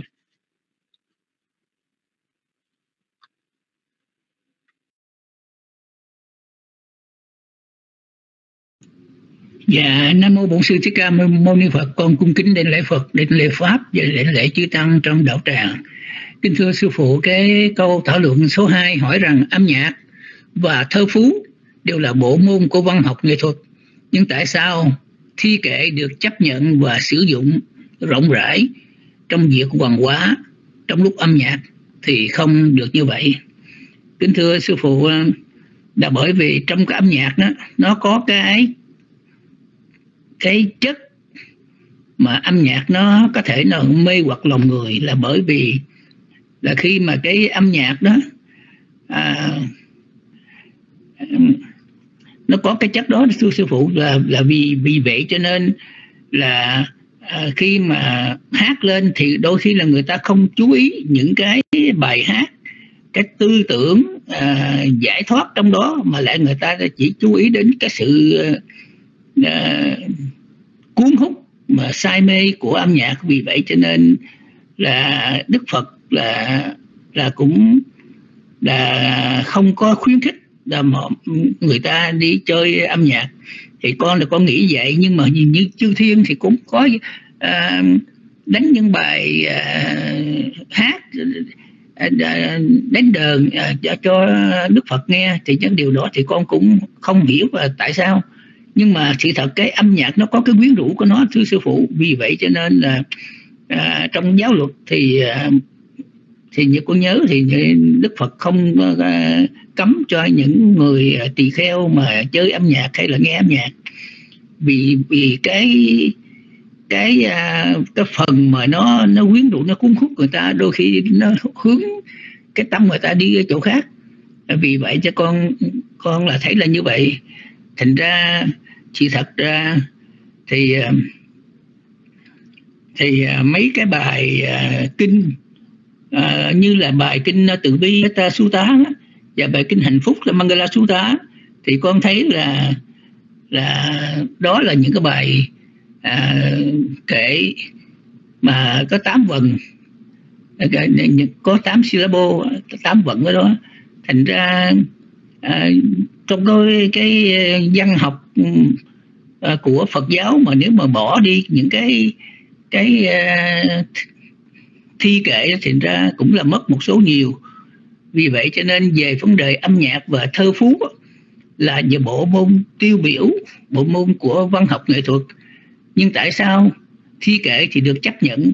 Bởi vì thi kệ thì là, người ta có thể là nhà là, là kể lên những cái bài uh, gatha đó thì mình đã kể lên.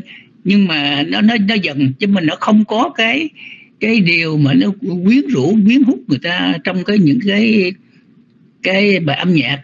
Vì vậy cho nên cái câu thảo luận số 2 này cho chúng ta thấy rằng là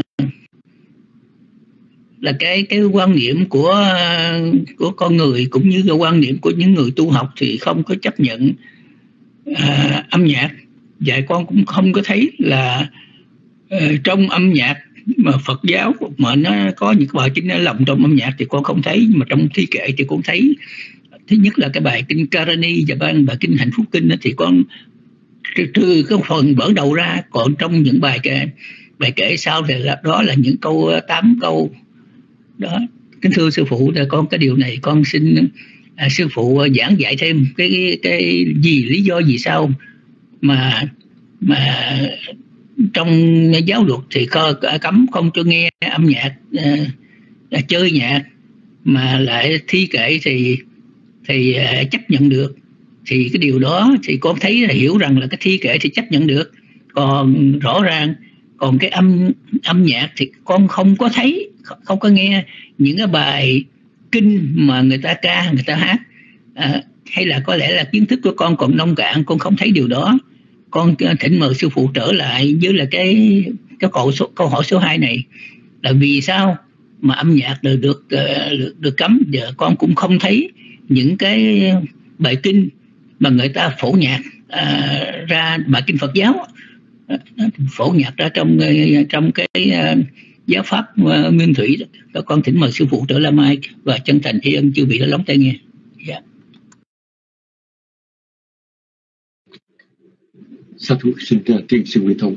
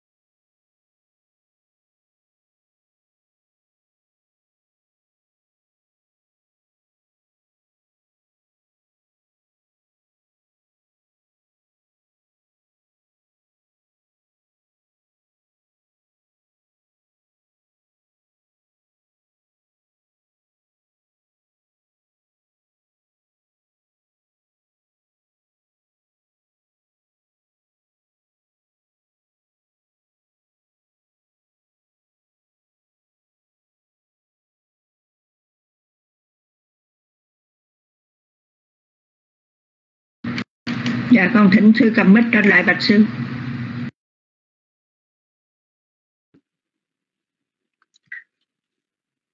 À, xin lỗi quý Phật tử nãy giờ quý vị có nghe chúng tôi nói được không? Dạ quý vị có nghe chúng tôi nói được không?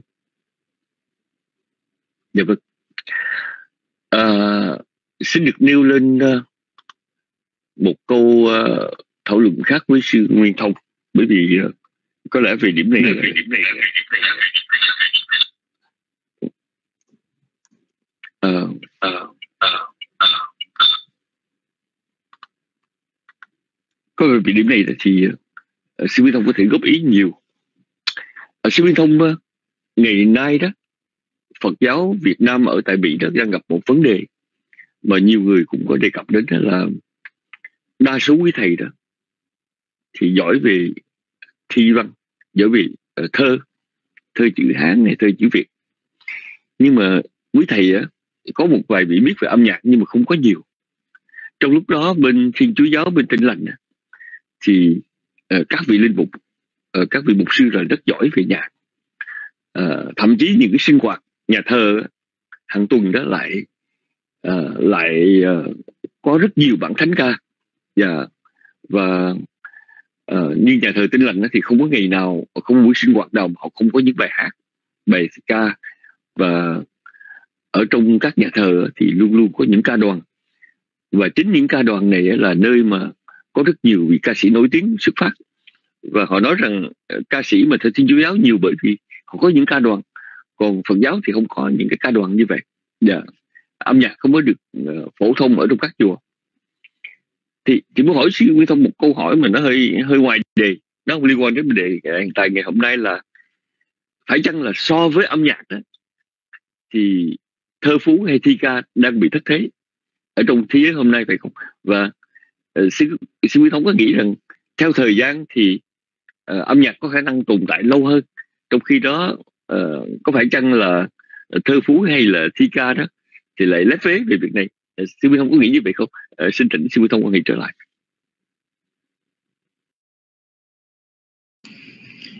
Dạ, kính thưa sư phụ, về cái câu hỏi số 3 này, À, thi ca có thất thế và đang bị đào thải trong thế giới hôm nay so với âm nhạc.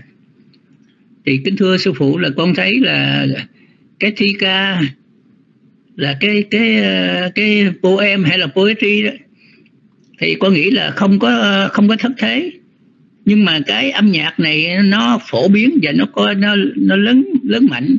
Thì tại vì cái, cái chúng sanh thì họ thích uh, chơi âm nhạc nhưng mà cái âm nhạc thì nó có hai hai phần. Một phần là nó à, có thể là giúp cho người ta thoải mái nhưng mà cái đôi khi nó đi xa hơn là trong gia trong cái à, trong Phật giáo của chúng ta đó. Nếu mà con người ta mà đi trầm ngâm vào à, cái bị lôi cuốn theo bên âm nhạc đó, thì à, cái à, cái giáo pháp mà con người ta đôi khi là người ta quên đi vậy cho nên là con thấy à, đức phật để đã cho không cho phép là à, à, tỳ kheo hay là những người tu sĩ mà nghe hay là chơi âm nhạc thì điều đó con thấy đúng là bởi vì khi mà mình nghe âm nhạc mình chơi âm nhạc thì thì mình không còn thời giờ tu hành nữa. Vì vậy cho nên là cái cái điều đó thì nó có có cái thể nói là có cái mức mà cái giới hạn nhưng mà nói giới hạn thì con thấy là cũng không có đúng nghĩa lắm. Nhưng mà cái đó là cái cũng như là cái áo giáp đi bảo vệ cái cái hạnh kiểm của cái người tu hành hay là cái uh, chánh hạnh cái uh, sa môn tướng của cái người uh, tu sĩ. Cho nên mà một người tỳ kheo mà ra đứng cầm micro mà để hát trong giữa đông thì cũng thấy nó còn không không có hay. Mà ngược lại một người tỳ kheo mà đứng giảng hay ngồi trong, trên cái bục giảng để đi giảng kinh, thì cái điều đó thì nó đem ích lợi hơn cho cho cho tất cả, những người nghe.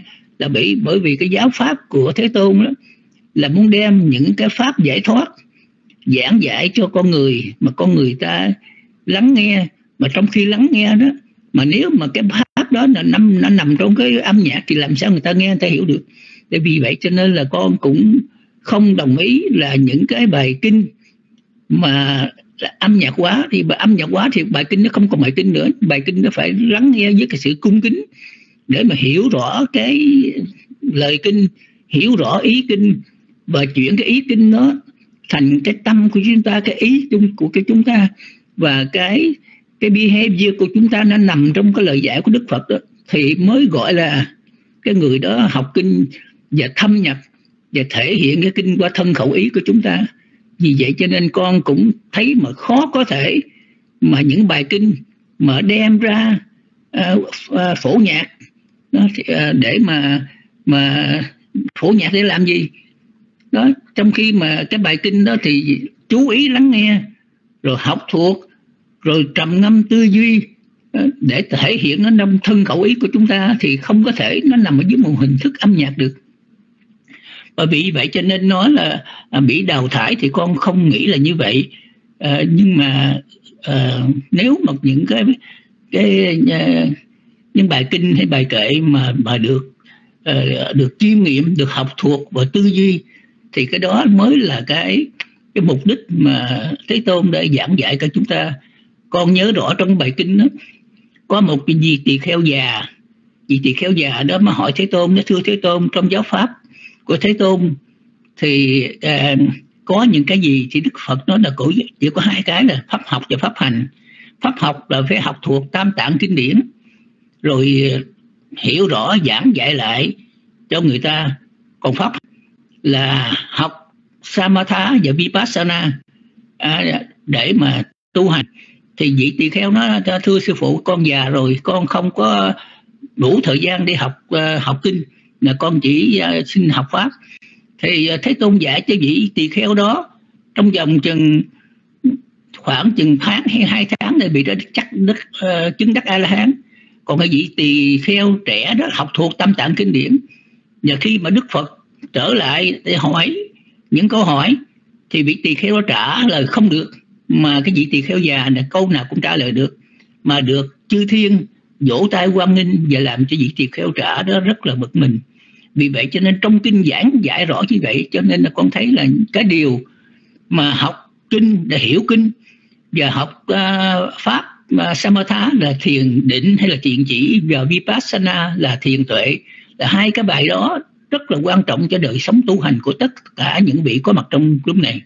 Vì vậy cho nên là đem giáo pháp mà để để mà mà phổ nhạc thì làm làm Ờ, cái, cái, cái bài pháp đó nó sẽ là một cái bài ca chứ không còn thì phổ nhạc để làm bài ca. Thì làm sao người ta học được trong khi là nếu mà đọc kinh với cái sự chú tâm cung kính và chú tâm thì mới lãnh hội được và mới biến được những lời dạy của thế tôn đi vào trong thân khẩu ý chúng ta để biến cái thân khẩu ý của chúng ta trở thành vô tham vô, vô si và có trí tuệ. Thì đó là cái điều mà con mơ ước.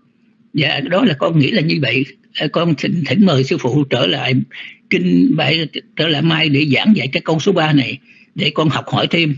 Và con chân thành tri ân chư vị lắng tai nghe. Con thỉnh mời sư phụ trở lại mai. Nam mô bổn sư thích ca mâu ni phật. Con thỉnh mời sư phụ.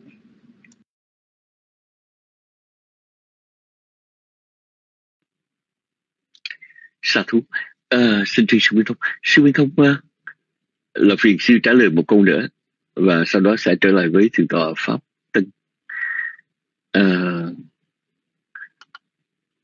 sư Thông uh, trong âm nhạc cũng như trong thi ca đó nó đều có những cái uh, nó có những cái cái chất liệu mà làm làm tâm con người bị dao động bị phóng dật. Đó nói theo ngôn ngữ Phật pháp. Nói theo ngôn ngữ thế gian chúng ta gọi là những cái chất men mà nó làm nó làm sai đắm lòng người rồi thì bây giờ uh, có cách nào mà chúng ta uh, sống trong thế giới của thơ uh, sử dụng thơ uh, thưởng thức thơ mà chúng ta loại bỏ cái chất men đó chúng ta làm được không? Hay là loại bỏ cái chất men đó thì thi ca trở nên nhạt nhẽo vô vị? Xin thịnh uh, sư bê thông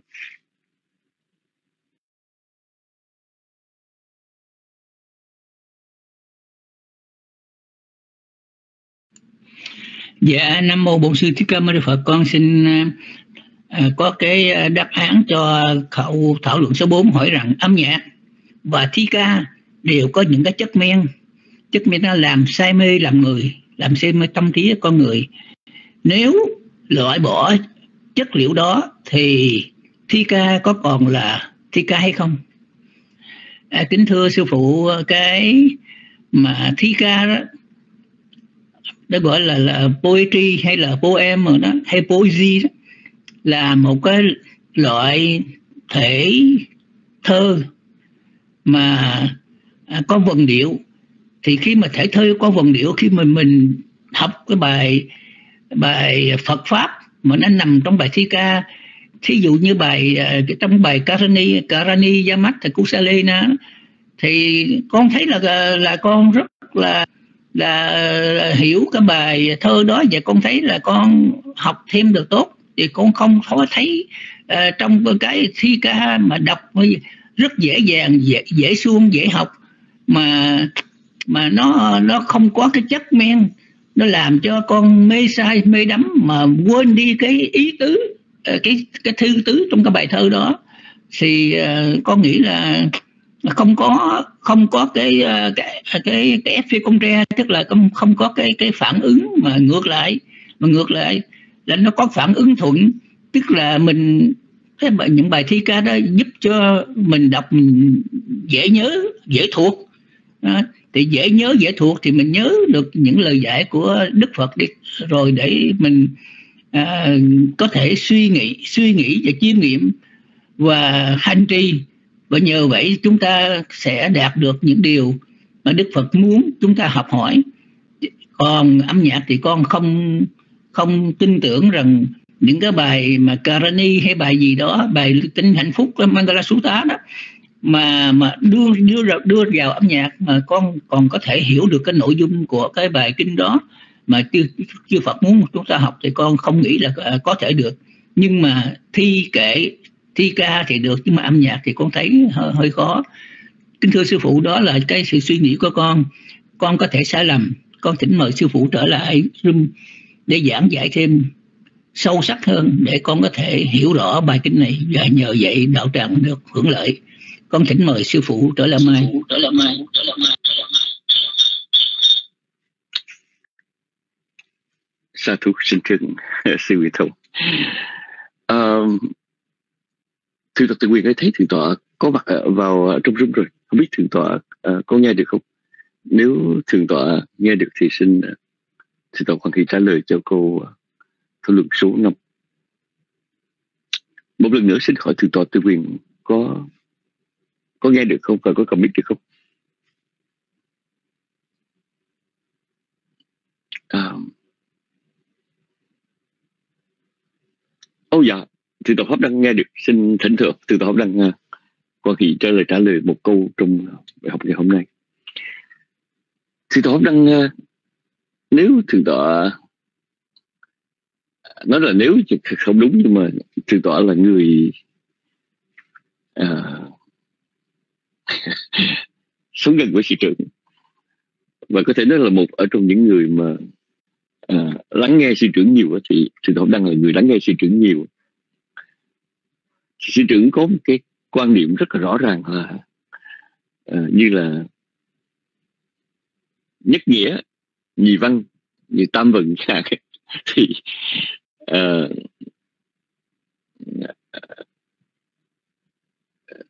thí dụ mình dịch đó thì mình quan trọng là ý nghĩa trước rồi mấy cách hành À, hành văn rồi quan trọng về cái âm vận à, vân vân. Thì à, chắc chắn là tôi không cần chia sẻ nhiều về điểm này nhưng mà nếu uh, người ta nói rằng ờ, cái bóng bẫy ờ, cái diễm lệ của thi ca của âm nhạc đó nó là một phương tiện thiên xảo để uh, đem cái nghĩa lý Phật pháp vào lòng người. Mà ngày nay chúng ta thấy pháp áp dụng rất là nhiều. Thì ở bên cạnh đó đó nó có cái gì gọi là nguy hiểm không? Nó có cái gì mà gọi là là những điểm mà chúng ta phải cân nhắc? Đôi khi lợi bất cập hại chẳng hạn đôi khi mình nghĩ rằng à, cái chuyện đó nó được kiểu phiền này nhưng mà nó là hại phương diện khác. Thì uh, những cái chất mê hoặc của thi ca của âm nhạc đó nó có những nguy hiểm mà chúng ta cần phải uh, cân nhắc không? Uh, và uh, trong cái sự sử dụng mà thơ văn để uh, để chuyển tải đạo lý để phô diễn Phật pháp chúng ta có cần phải cân nhắc phải phải có những cái tiêu chuẩn đề xuất như là uh, sư trưởng không? Cái tình thư tập pháp đó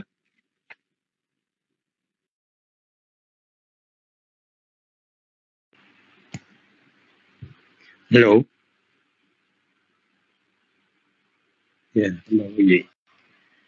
À, thật sự nói về sư trưởng thì uh, quý vị biết rằng nữa là sư trưởng sáng tác rất là nhiều nhạc uh, những bài cổ nhạc rồi uh, thơ đường đó, uh, hơn 10.000 cái bài thơ đường Ờ, nói về cái cuộc đời của Đức Phật. Và um, cũng có ca sĩ như Úc Trà Ôn, Úc Bạch Lan đồ uh, cũng đến chùa Bủ Đức uh, để hát uh, những cái bài hát như Phật tổ Gotama rồi uh, được uh, sư trưởng sáng tác. Thì thật sự đó thì quý vị biết rằng đối với sư trưởng đó thì là một vị uh, giỏi về vi diệu pháp à, nên đó, cái, cái tiêu chuẩn của sư trưởng đó thì uh, tán văn tại đạo. Có nghĩa là dùng cái cái văn phong để tải cái đạo.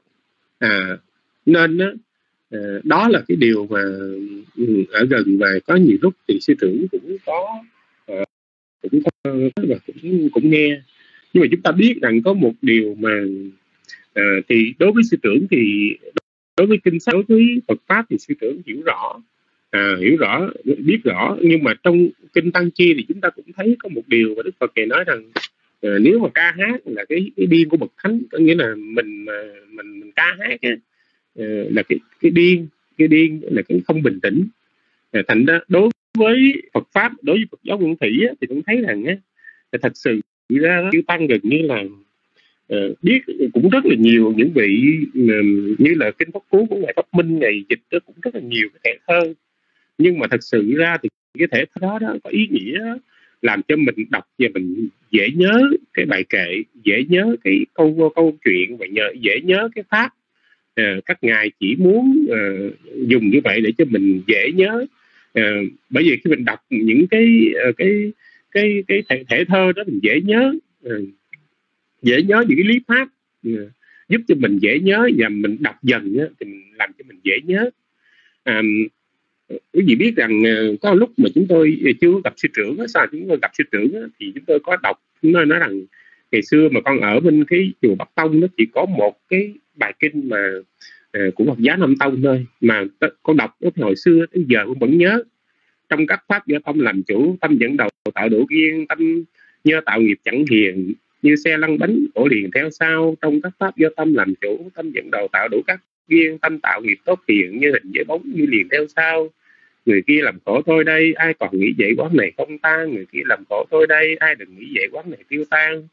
Lấy ân từ quán quán tiêu lắm báo quán càng nhiều quán gia vì có mình gần quỷ diệt nên chúng sanh lại biết cạnh tranh. Nếu hay quỷ diệt cần mình chúng sanh phí sức cạnh tranh làm gì? Ham thích sống trong dòng cái lạc tâm buông lung biến nhát đọa đầy.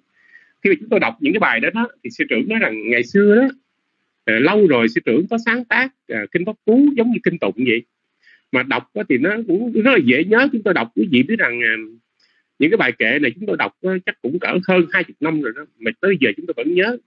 À, chúng tôi vẫn nhớ mà ngày xưa đó ví dụ quý vị biết chúng tôi về cái chùa từ thiện là cái chùa Bắc Tông mà chúng tôi đem cái kinh pháp cú đó chúng tôi cho đọc. À, đọc và mỗi bữa tụng kinh chúng tôi đọc đọc rồi chúng tôi giảng từng bài kệ bài kệ như vậy đó. Để cho uh, cho phật tử. Để suốt uh, suốt mấy tháng trời á rồi chúng tôi mới ra mới mới mới nói với phật tử là bây giờ đọc hết mấy cái tượng uh, mấy tượng như là tượng quan âm rồi địa tạng di đà rồi chuẩn đề rồi địa mẫu rồi trần hưng đạo rồi chúng tôi đọc uh, mỗi gì biết rằng đọc từ sáng ấy sáng á và đọc nó hết chưa hết mấy cái tượng. Uh, những cái tượng nó bự bự không mà và chúng tôi mỗi ngày á, là cho họ đọc như vậy và họ cũng nhớ rất là nhiều cái gì bài cái, cái thể thơ rất là nhớ, dễ nhớ. Trong các pháp do tâm làm chủ tâm dẫn đầu tạo đủ các duyên thì nó rất, rất là dễ. À, thành ra khi mà mình đọc đó, mình đọc mình hiểu được đó, mình hiểu được cái bài kệ đó ý nghĩa nó cái gì. Và chúng tôi có đọc cái những cái, cái bài kệ đó lâu lâu chúng tôi ngồi à, chúng tôi cũng đọc mà chúng tôi đọc hoài. Thành ra chúng tôi thuộc hoài tới giờ chúng tôi đọc cũng vẫn còn thuộc cái gì. Ừ sắc sinh xét sắc ăn lại sắc từ người gieo nhân nhân dắt lại người đi vào cõi ác chơi vơi quả hành nghiệp trả khổ đời hại tân người kia làm khổ tôi đây ai còn nghĩ vậy quán này không tan? Người kia làm khổ tôi đây ai đừng nghĩ vậy quán này tiêu tan? Lấy ân từ quán quán tiêu. À, đọc như vậy mà quý vị biết rằng đọc à, đọc như vậy đó nó rất là dễ nhớ. Mà nó cũng cũng mình cũng cũng cũng đọc thường thường vậy đó quý vị. Ừ. thành ra khi mà mình nghĩ rằng đối với sư trưởng đó, thì sư trưởng nói rằng cái cái cái cốt yếu của cái chi pháp đó, cái nghĩa là uh, nó không có được ờ, lạc lạc cái nghĩa là tâm uh, tâm là giống như nhiều pháp cái tâm là biết cảnh gì đó. Uh, rồi những cái sở hữu của tâm á, mình đừng gọi là sở hữu thọ sở hữu tưởng là các pháp sanh theo. À, bởi vì cái, tâm sanh thì các pháp sanh theo nghĩa là những cái tâm sở sanh theo. Ừ. à, và đọc như vậy đó thì nó dễ nhớ. Và chúng ta biết rằng á, nếu mà mình mình mình cho đọc và nhớ như vậy nó cũng là cái điều rất là hay. Ừ, rất là hay. Ừ, rất là hay có nghĩa là mình dễ nhớ thành ra mình dễ đọc và mình dễ đọc đó, thì mình dễ và mình dễ nhớ. Thì nhưng gặp những cái chuyện gì đó mình mình nhớ mình đọc đó, thì mình áp dụng nó cũng rất là rất là dễ. Ừ, rất là dễ. Nên đó, chúng tôi nghĩ rằng á, cũng như sư tưởng thì đối với chư tăng á, thì đọc à, theo, theo kiểu thể thơ vậy được chứ còn ca hát ờ, những cái bài những cái bài hát. Thì uh, sư trưởng cũng có sáng tác những bài cổ nhạc uh, đức phật tổ Gautama rồi này như du đà la đồ uh, la hầu la đồ ngày cũng uh, sư trưởng cũng sáng tác nhiều cái bài nhạc mà ngày xưa uh, nhạc sĩ phổ phổ nhạc xong rồi uh, rồi uh, ca sĩ úc úc trà ô bạch lan rồi hát. Rồi, rồi sư trưởng thì chủ yếu là làm sao đó cho cái Ờ, cho cái ờ, cái người phật tử họ nghe mà họ nhớ ờ, những cái chuyện đó. Bởi vì nhiều khi phật tử chúng ta thấy một số vô chùa đó thì cái họ học Phật pháp thì họ không chịu học. Nhưng mà nghe nghe họ nhớ họ, họ, họ ca họ hát họ nhớ. Rồi họ nhớ cái lịch sử đó rồi họ suy tưởng về về về đức phật như vậy như vậy đó cũng rất là hay. Ừ. thì chúng ta hiểu rằng á một cái vị mà Ờ, mình ờ, mình tá thơ tải đạo chứ không phải là mà, mà, mà, mà mình dùng thơ mà quỷ mị. Bởi vì chúng ta thấy rằng nếu mà dùng thơ mình có cách cách ước ác quỷ mị đó thì nó cũng rất là nguy hiểm. Ờ, còn nếu mình làm thơ để mình diễn đạt uh, được lý pháp đó, thì làm cho cái người nghe đó họ họ họ dễ thuộc dễ nhớ trong trong tâm của họ thì nó cũng rất là hay. Ừ. như vậy thì theo con nghĩ rằng á, chư tăng những vị trưởng lão thì có nhiều cái kinh nghiệm nhiều kinh nghiệm và cũng có nhiều cái để cho ờ, cho mình không phải là mình, gọi là mình mình giỏi về văn nghĩa cụ túc đó đó đó là cái lãnh vực ừ, của cái bậc trí. Ờ, thành ra con mình đối với chư tăng mà có có ờ, có cái kinh nghiệm đó thì các ngài rất là phong phú trên vấn đề hoàng pháp và cũng để Ờ, làm cho người ta dễ ờ, có một cái niềm vui. Nhiều khi rồi ờ, họ buồn buồn họ đọc mấy cái bài họ nghe những cái bài ca đó họ tự nhiên họ nhớ. Nhưng mà đối với cư sĩ thôi chứ còn thật sự ra thì đối với chữ tăng á, thì gần như là uh, sư trưởng thì uh, chủ yếu là dạy chữ tăng là, là giảng pháp giải pháp dạy học cái nọ là cái cái cái mục đích chính của sư trưởng. Chứ còn cái, cái văn thơ đó thì mình học mình đọc vào một vài câu thì được. Ờ, có cái ý nghĩa nào Phật pháp mình đọc mình đọc vào để để mình làm cho cái buổi giảng nó phong phú thì được chứ còn ca hát thì con thấy gần như là chắc con không thấy sư trưởng có cái cái cái cái cái, cái ý thích này. Ừ.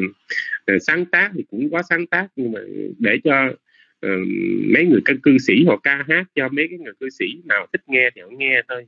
Giống như là mở rộng cái cái cái cái cái cách hoàn pháp để để tiếp độ một số người. Ừ, một số người họ hiểu biết được.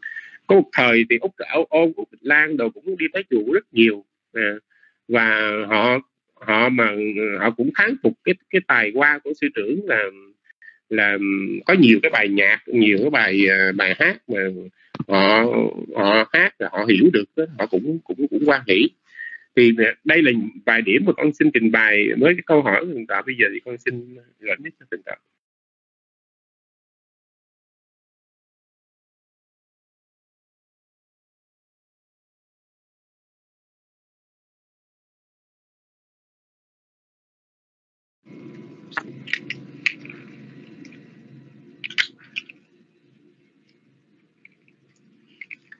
sa thú đăng uh, ờ, thấy thì tọa tư quyền tội nghiệp nãy giờ chạy vô chạy ra rất là nhiều lần nhưng mà tọa không có nghe và không có biết được. Ờ, chúng ta cứ có cái hy vọng cuối cùng nếu thượng tọa tư quyền có thể nghe và có biết được thì xin uh, hỏi thượng tọa một câu. Uh, một lần nữa thượng tọa tư quyền có nghe và có biết được không? À, thưa quý vị oh, dạ, dạ thấy cho Thế Việt chưa? Tôi nghiệp Quý vị biết rằng ờ, ờ, uh, Chứ vị giảng sư ờ, mà nội mỗi ngày mà bỏ thi giờ vào trong room để tham dự đó là một chuyện uh, phải cố gắng hy sinh rất là nhiều. Bên cạnh đó mà trong lúc về internet gặp khó khăn mà các ngài vẫn vào được thì uh, rất là xin nhất lòng tán thán. Thưa Tư Quyền hôm nay chúng ta nói về thơ và chúng ta nói về uh, thơ vào khoa và thơ nó là một cái gì uh, chúng ta gọi là thi thiết là cái gì mặc ước chế định. Nó không phải là một thực tính pháp. Dạ nó phải là một thực tính pháp. Uh, mình uh, mỗi một ngôn ngữ một nền văn hóa kể cả mỗi cá nhân của chúng ta có cảm nhận khác nhau về thơ. Thì uh, uh, có nhiều người nói rằng như vậy thơ là uh, thơ là cái cõi hư vô. Uh, cơ thơ không phải là cõi thật. Yeah. Dạ, nhưng mà Phật pháp á ở trong Phật pháp thì có rất nhiều dùng rất nhiều ga tha. Thì thượng tọa tư quyền có thể chia sẻ một vài cái cảm nhận thượng tọa là uh, tại sao Phật pháp cũng có thi ca cũng có thơ nhưng mà cái thơ Phật pháp á, thì nó lại không đưa chúng ta vào cõi hư vô. Cái gì mà tạo nên cái đặc tính đó của Phật pháp khiến cho thơ không trở thành hư vô hư ảo? Xin ờ, cái tình ý kiến của thượng tọa tư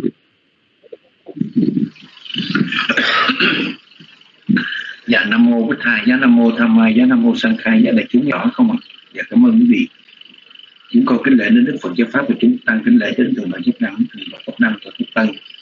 Cảm ơn đảnh đức từ chi đức từ đức xin nghe thông cùng cho các hiện diện chào quý vị cùng sự thượng tử. Nghe đứng được cái nhìn của chính con thì con thấy rằng là, có thể nói rằng cái cái thi ca, ở trong, ở trên cái tinh thần Phật pháp của chúng ta, nó cũng đượm nồng lắm chứ. Nhiều lần các vị chư thiên xuống để cúng dường Đức Phật bằng những lời ca, bằng những cái cái điệu nhạc rất nhiều. Thì là cái lý thứ nhất. Và cái lý thứ hai nữa, chúng ta nhớ lại trong kinh văn ở trong ở trong à, ở trong Thera Theri Gatha tức là trong trưởng lão tăng trưởng lão ni cải thì nhiều vị tỷ kheo quân ni nhiều vị tỷ kheo tăng sau khi là chứng đắc à, thánh quả đạo thánh quả thì các vị đó cảm hứng trong cái cái à, trong cái lạc của thiền trong cái lạc của của niết bàn. Tức là sau khi chứng đắc chứng đạo thánh quả các vị đó cũng nói lên vài cái lời mà xem như là cái lời đó nó vượt ngoài cái chúng ta vượt ngoài cái cõi hư vô cõi cõi vô à, và cõi hư vô đó, tức là vượt ngoài tất cả. Ở đó nó không còn một cái biên bờ nào nữa bởi vì các vị đó được hoàn toàn à, nó không còn bị à, vướng vấp nó không còn bị hạn hụ nó đã vào một cái một cái, cái, cái thượng thừa chứ không còn cõi mộng nữa mà cõi mơ thì chúng ta cho tinh thần nó tức là cái thơ ca nó đưa chúng ta vào cái mộng mơ, cái điều đó chúng ta nói ở trong tinh thần của những người mà có cái sự tầm cầu, có cái sự khát ái, hướng tâm đến những cái, những nhờ cái khát ái. Chứ còn nếu như đối với các vị mà người ta đã đã được hoàn toàn, giải thoát hoàn toàn tự do, sự cảm hứng, cảm ngữ của người ta nó rất là mạnh. Nó mạnh tức là từ những cái câu từ những cái lý ý nghĩa mà cái câu cái từ cái cảm ngữ cái cái cái cái, cái cảm cảm hứng cảm nghĩ đó của các vị nó đã đưa vào ngay cả cái chất liều của giải thoát luôn. Nó dựa trên cái chất liều giải thoát mà các vị đó nói lên. Chứ không phải chúng ta mà cũng như là, là người tu mà có nửa tim linh hồi hay là đã đành đã đành là một cuộc tu hay là chúng ta vừa vừa à, vừa sợ lưng hồi mà cũng à, cũng vừa ở coi như đang đi trên con đường niết bàn nhưng chúng ta cũng bị vướng vấp lưng hồi vân vân thì chúng ta bị hạn à, bị, bị bị giới hạn và chúng ta bị bị nóng dữ là hết. Còn ở đây có các vị thì nó hoàn toàn vì vậy cho nên à, cái ở trong Phật pháp á, những cái lời kinh kệ luôn luôn cái điểm cuối cùng là không để chúng ta phải dự phần không để chúng ta nó hoang mang nó miên man để chúng ta không có một cái cái chỗ vịnh hay là chúng ta vào một cõi có mộng mơ như là một người mà à, như một người không có bình thường ở đây những cái lời của các vị là nó có từ cái cảm hứng từ từ những cái cái cái cái, cái giá trị thực chứng từ những một cái cái tâm hồn nó thanh khiết và nó mạnh mẽ và nó tốt đẹp cho nên các vị đó mới thốt lên được mới gửi lên được. Và cho nên ở trong cái cái cái tinh thần Phật pháp thì nó không phải là như thế. Ngay cả các vị chư thần chư thiên xuống để cúng dường Đức Phật bằng những cái gì mà họ thành tâm họ tán thán và từ ngay lúc đó họ tán thán hay họ hay họ đàn họ họ hay họ họ làm một cái cái cái bài thơ bài bài ca để xưng tán Phật. Thì cũng ý niệm đó là ý niệm cũng là là thành tâm để để, để hướng về một cái điều tốt đẹp hướng đến một cái mà đó, đó là cái thực chứng đó là một cái điều thật có của Phật. Thì chúng ta thấy nó khác hơn là cái chỗ mà cái thơ văn ở ở bên ngoài. Khi mà đọc những cái bài thơ là bất cứ là thơ đường hay là bằng những cái à, cái đoạn văn bằng những cái cái bài văn hay là cái à, hay là cái điệu nhạc thì nó trầm bổng du dương thế nào đó nhưng nó cũng đưa con người nó cũng réo cội con người. Hay là nó làm cho con người tưởng tri lại những điều vui những điều buồn của quá khứ. Hay là nó đưa cho con người có một cái mơ mơ hồ hồ để nhìn về để ờ, để tìm về một cái đó mà chưa có hình thể chưa có tốt đẹp thì đây chính là cái điều nó khác. Còn tinh thần Phật pháp thì nó không có đưa chúng ta vào cõi mộng ảo hư vô mà rất là thiết thực. Những gì thật có những gì thực chứng và những gì à, à, nói lên để cho qua là mượn văn tải đạo. Thì chúng ta một phần để chúng ta cho coi như là cho một cái hệ thống cái cho một cái cái não của chúng ta nó nhẹ hơn cho cái tinh thần của chúng ta nó an vui hơn nó lạc hơn. Chỉ là như thế thôi. Và kính mà thượng tọa đó chính là cái ý kiến của con là vậy. Và cũng thành thật báo trình là cái đường truyền nó rất là vô thường lúc mà mạnh lúc mà yếu. Bởi vì người ta đang ở nhà cho nên vì vậy người ta hoạt rất là nhiều. Cho nên rất nó rất là là là, là khó khăn. Dạ. Con sẽ cố gắng dạ nếu như được lúc nào thì hay lúc đó dạ kính phụ tỉnh rồi quay trở lại nó một thầy á.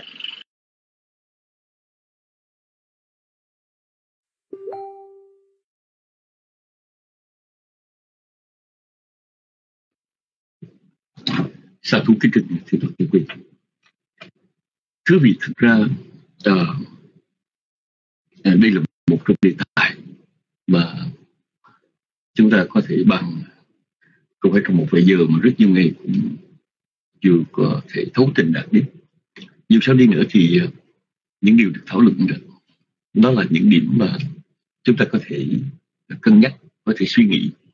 Và từ cái sự suy nghiệm đó, chúng ta có thể đi đến những một số những lợi lạc nhất định. Xin được kết thúc chương trình sự bạc hôm nay của trung Phật pháp Buddha Dhamma. Và ngày mai này chúng ta sẽ có bài giảng của thượng tọa tự siêu trong giáo trình thẩm phán Abhidhamma kính đại lễ chi tôn đức thân chào tạm biệt quý phật tử. Kính chúc tất cả một ngày an lành, một đêm an lành. Hẹn gặp lại trong chương trình ngày mai. Nam mô phật thầy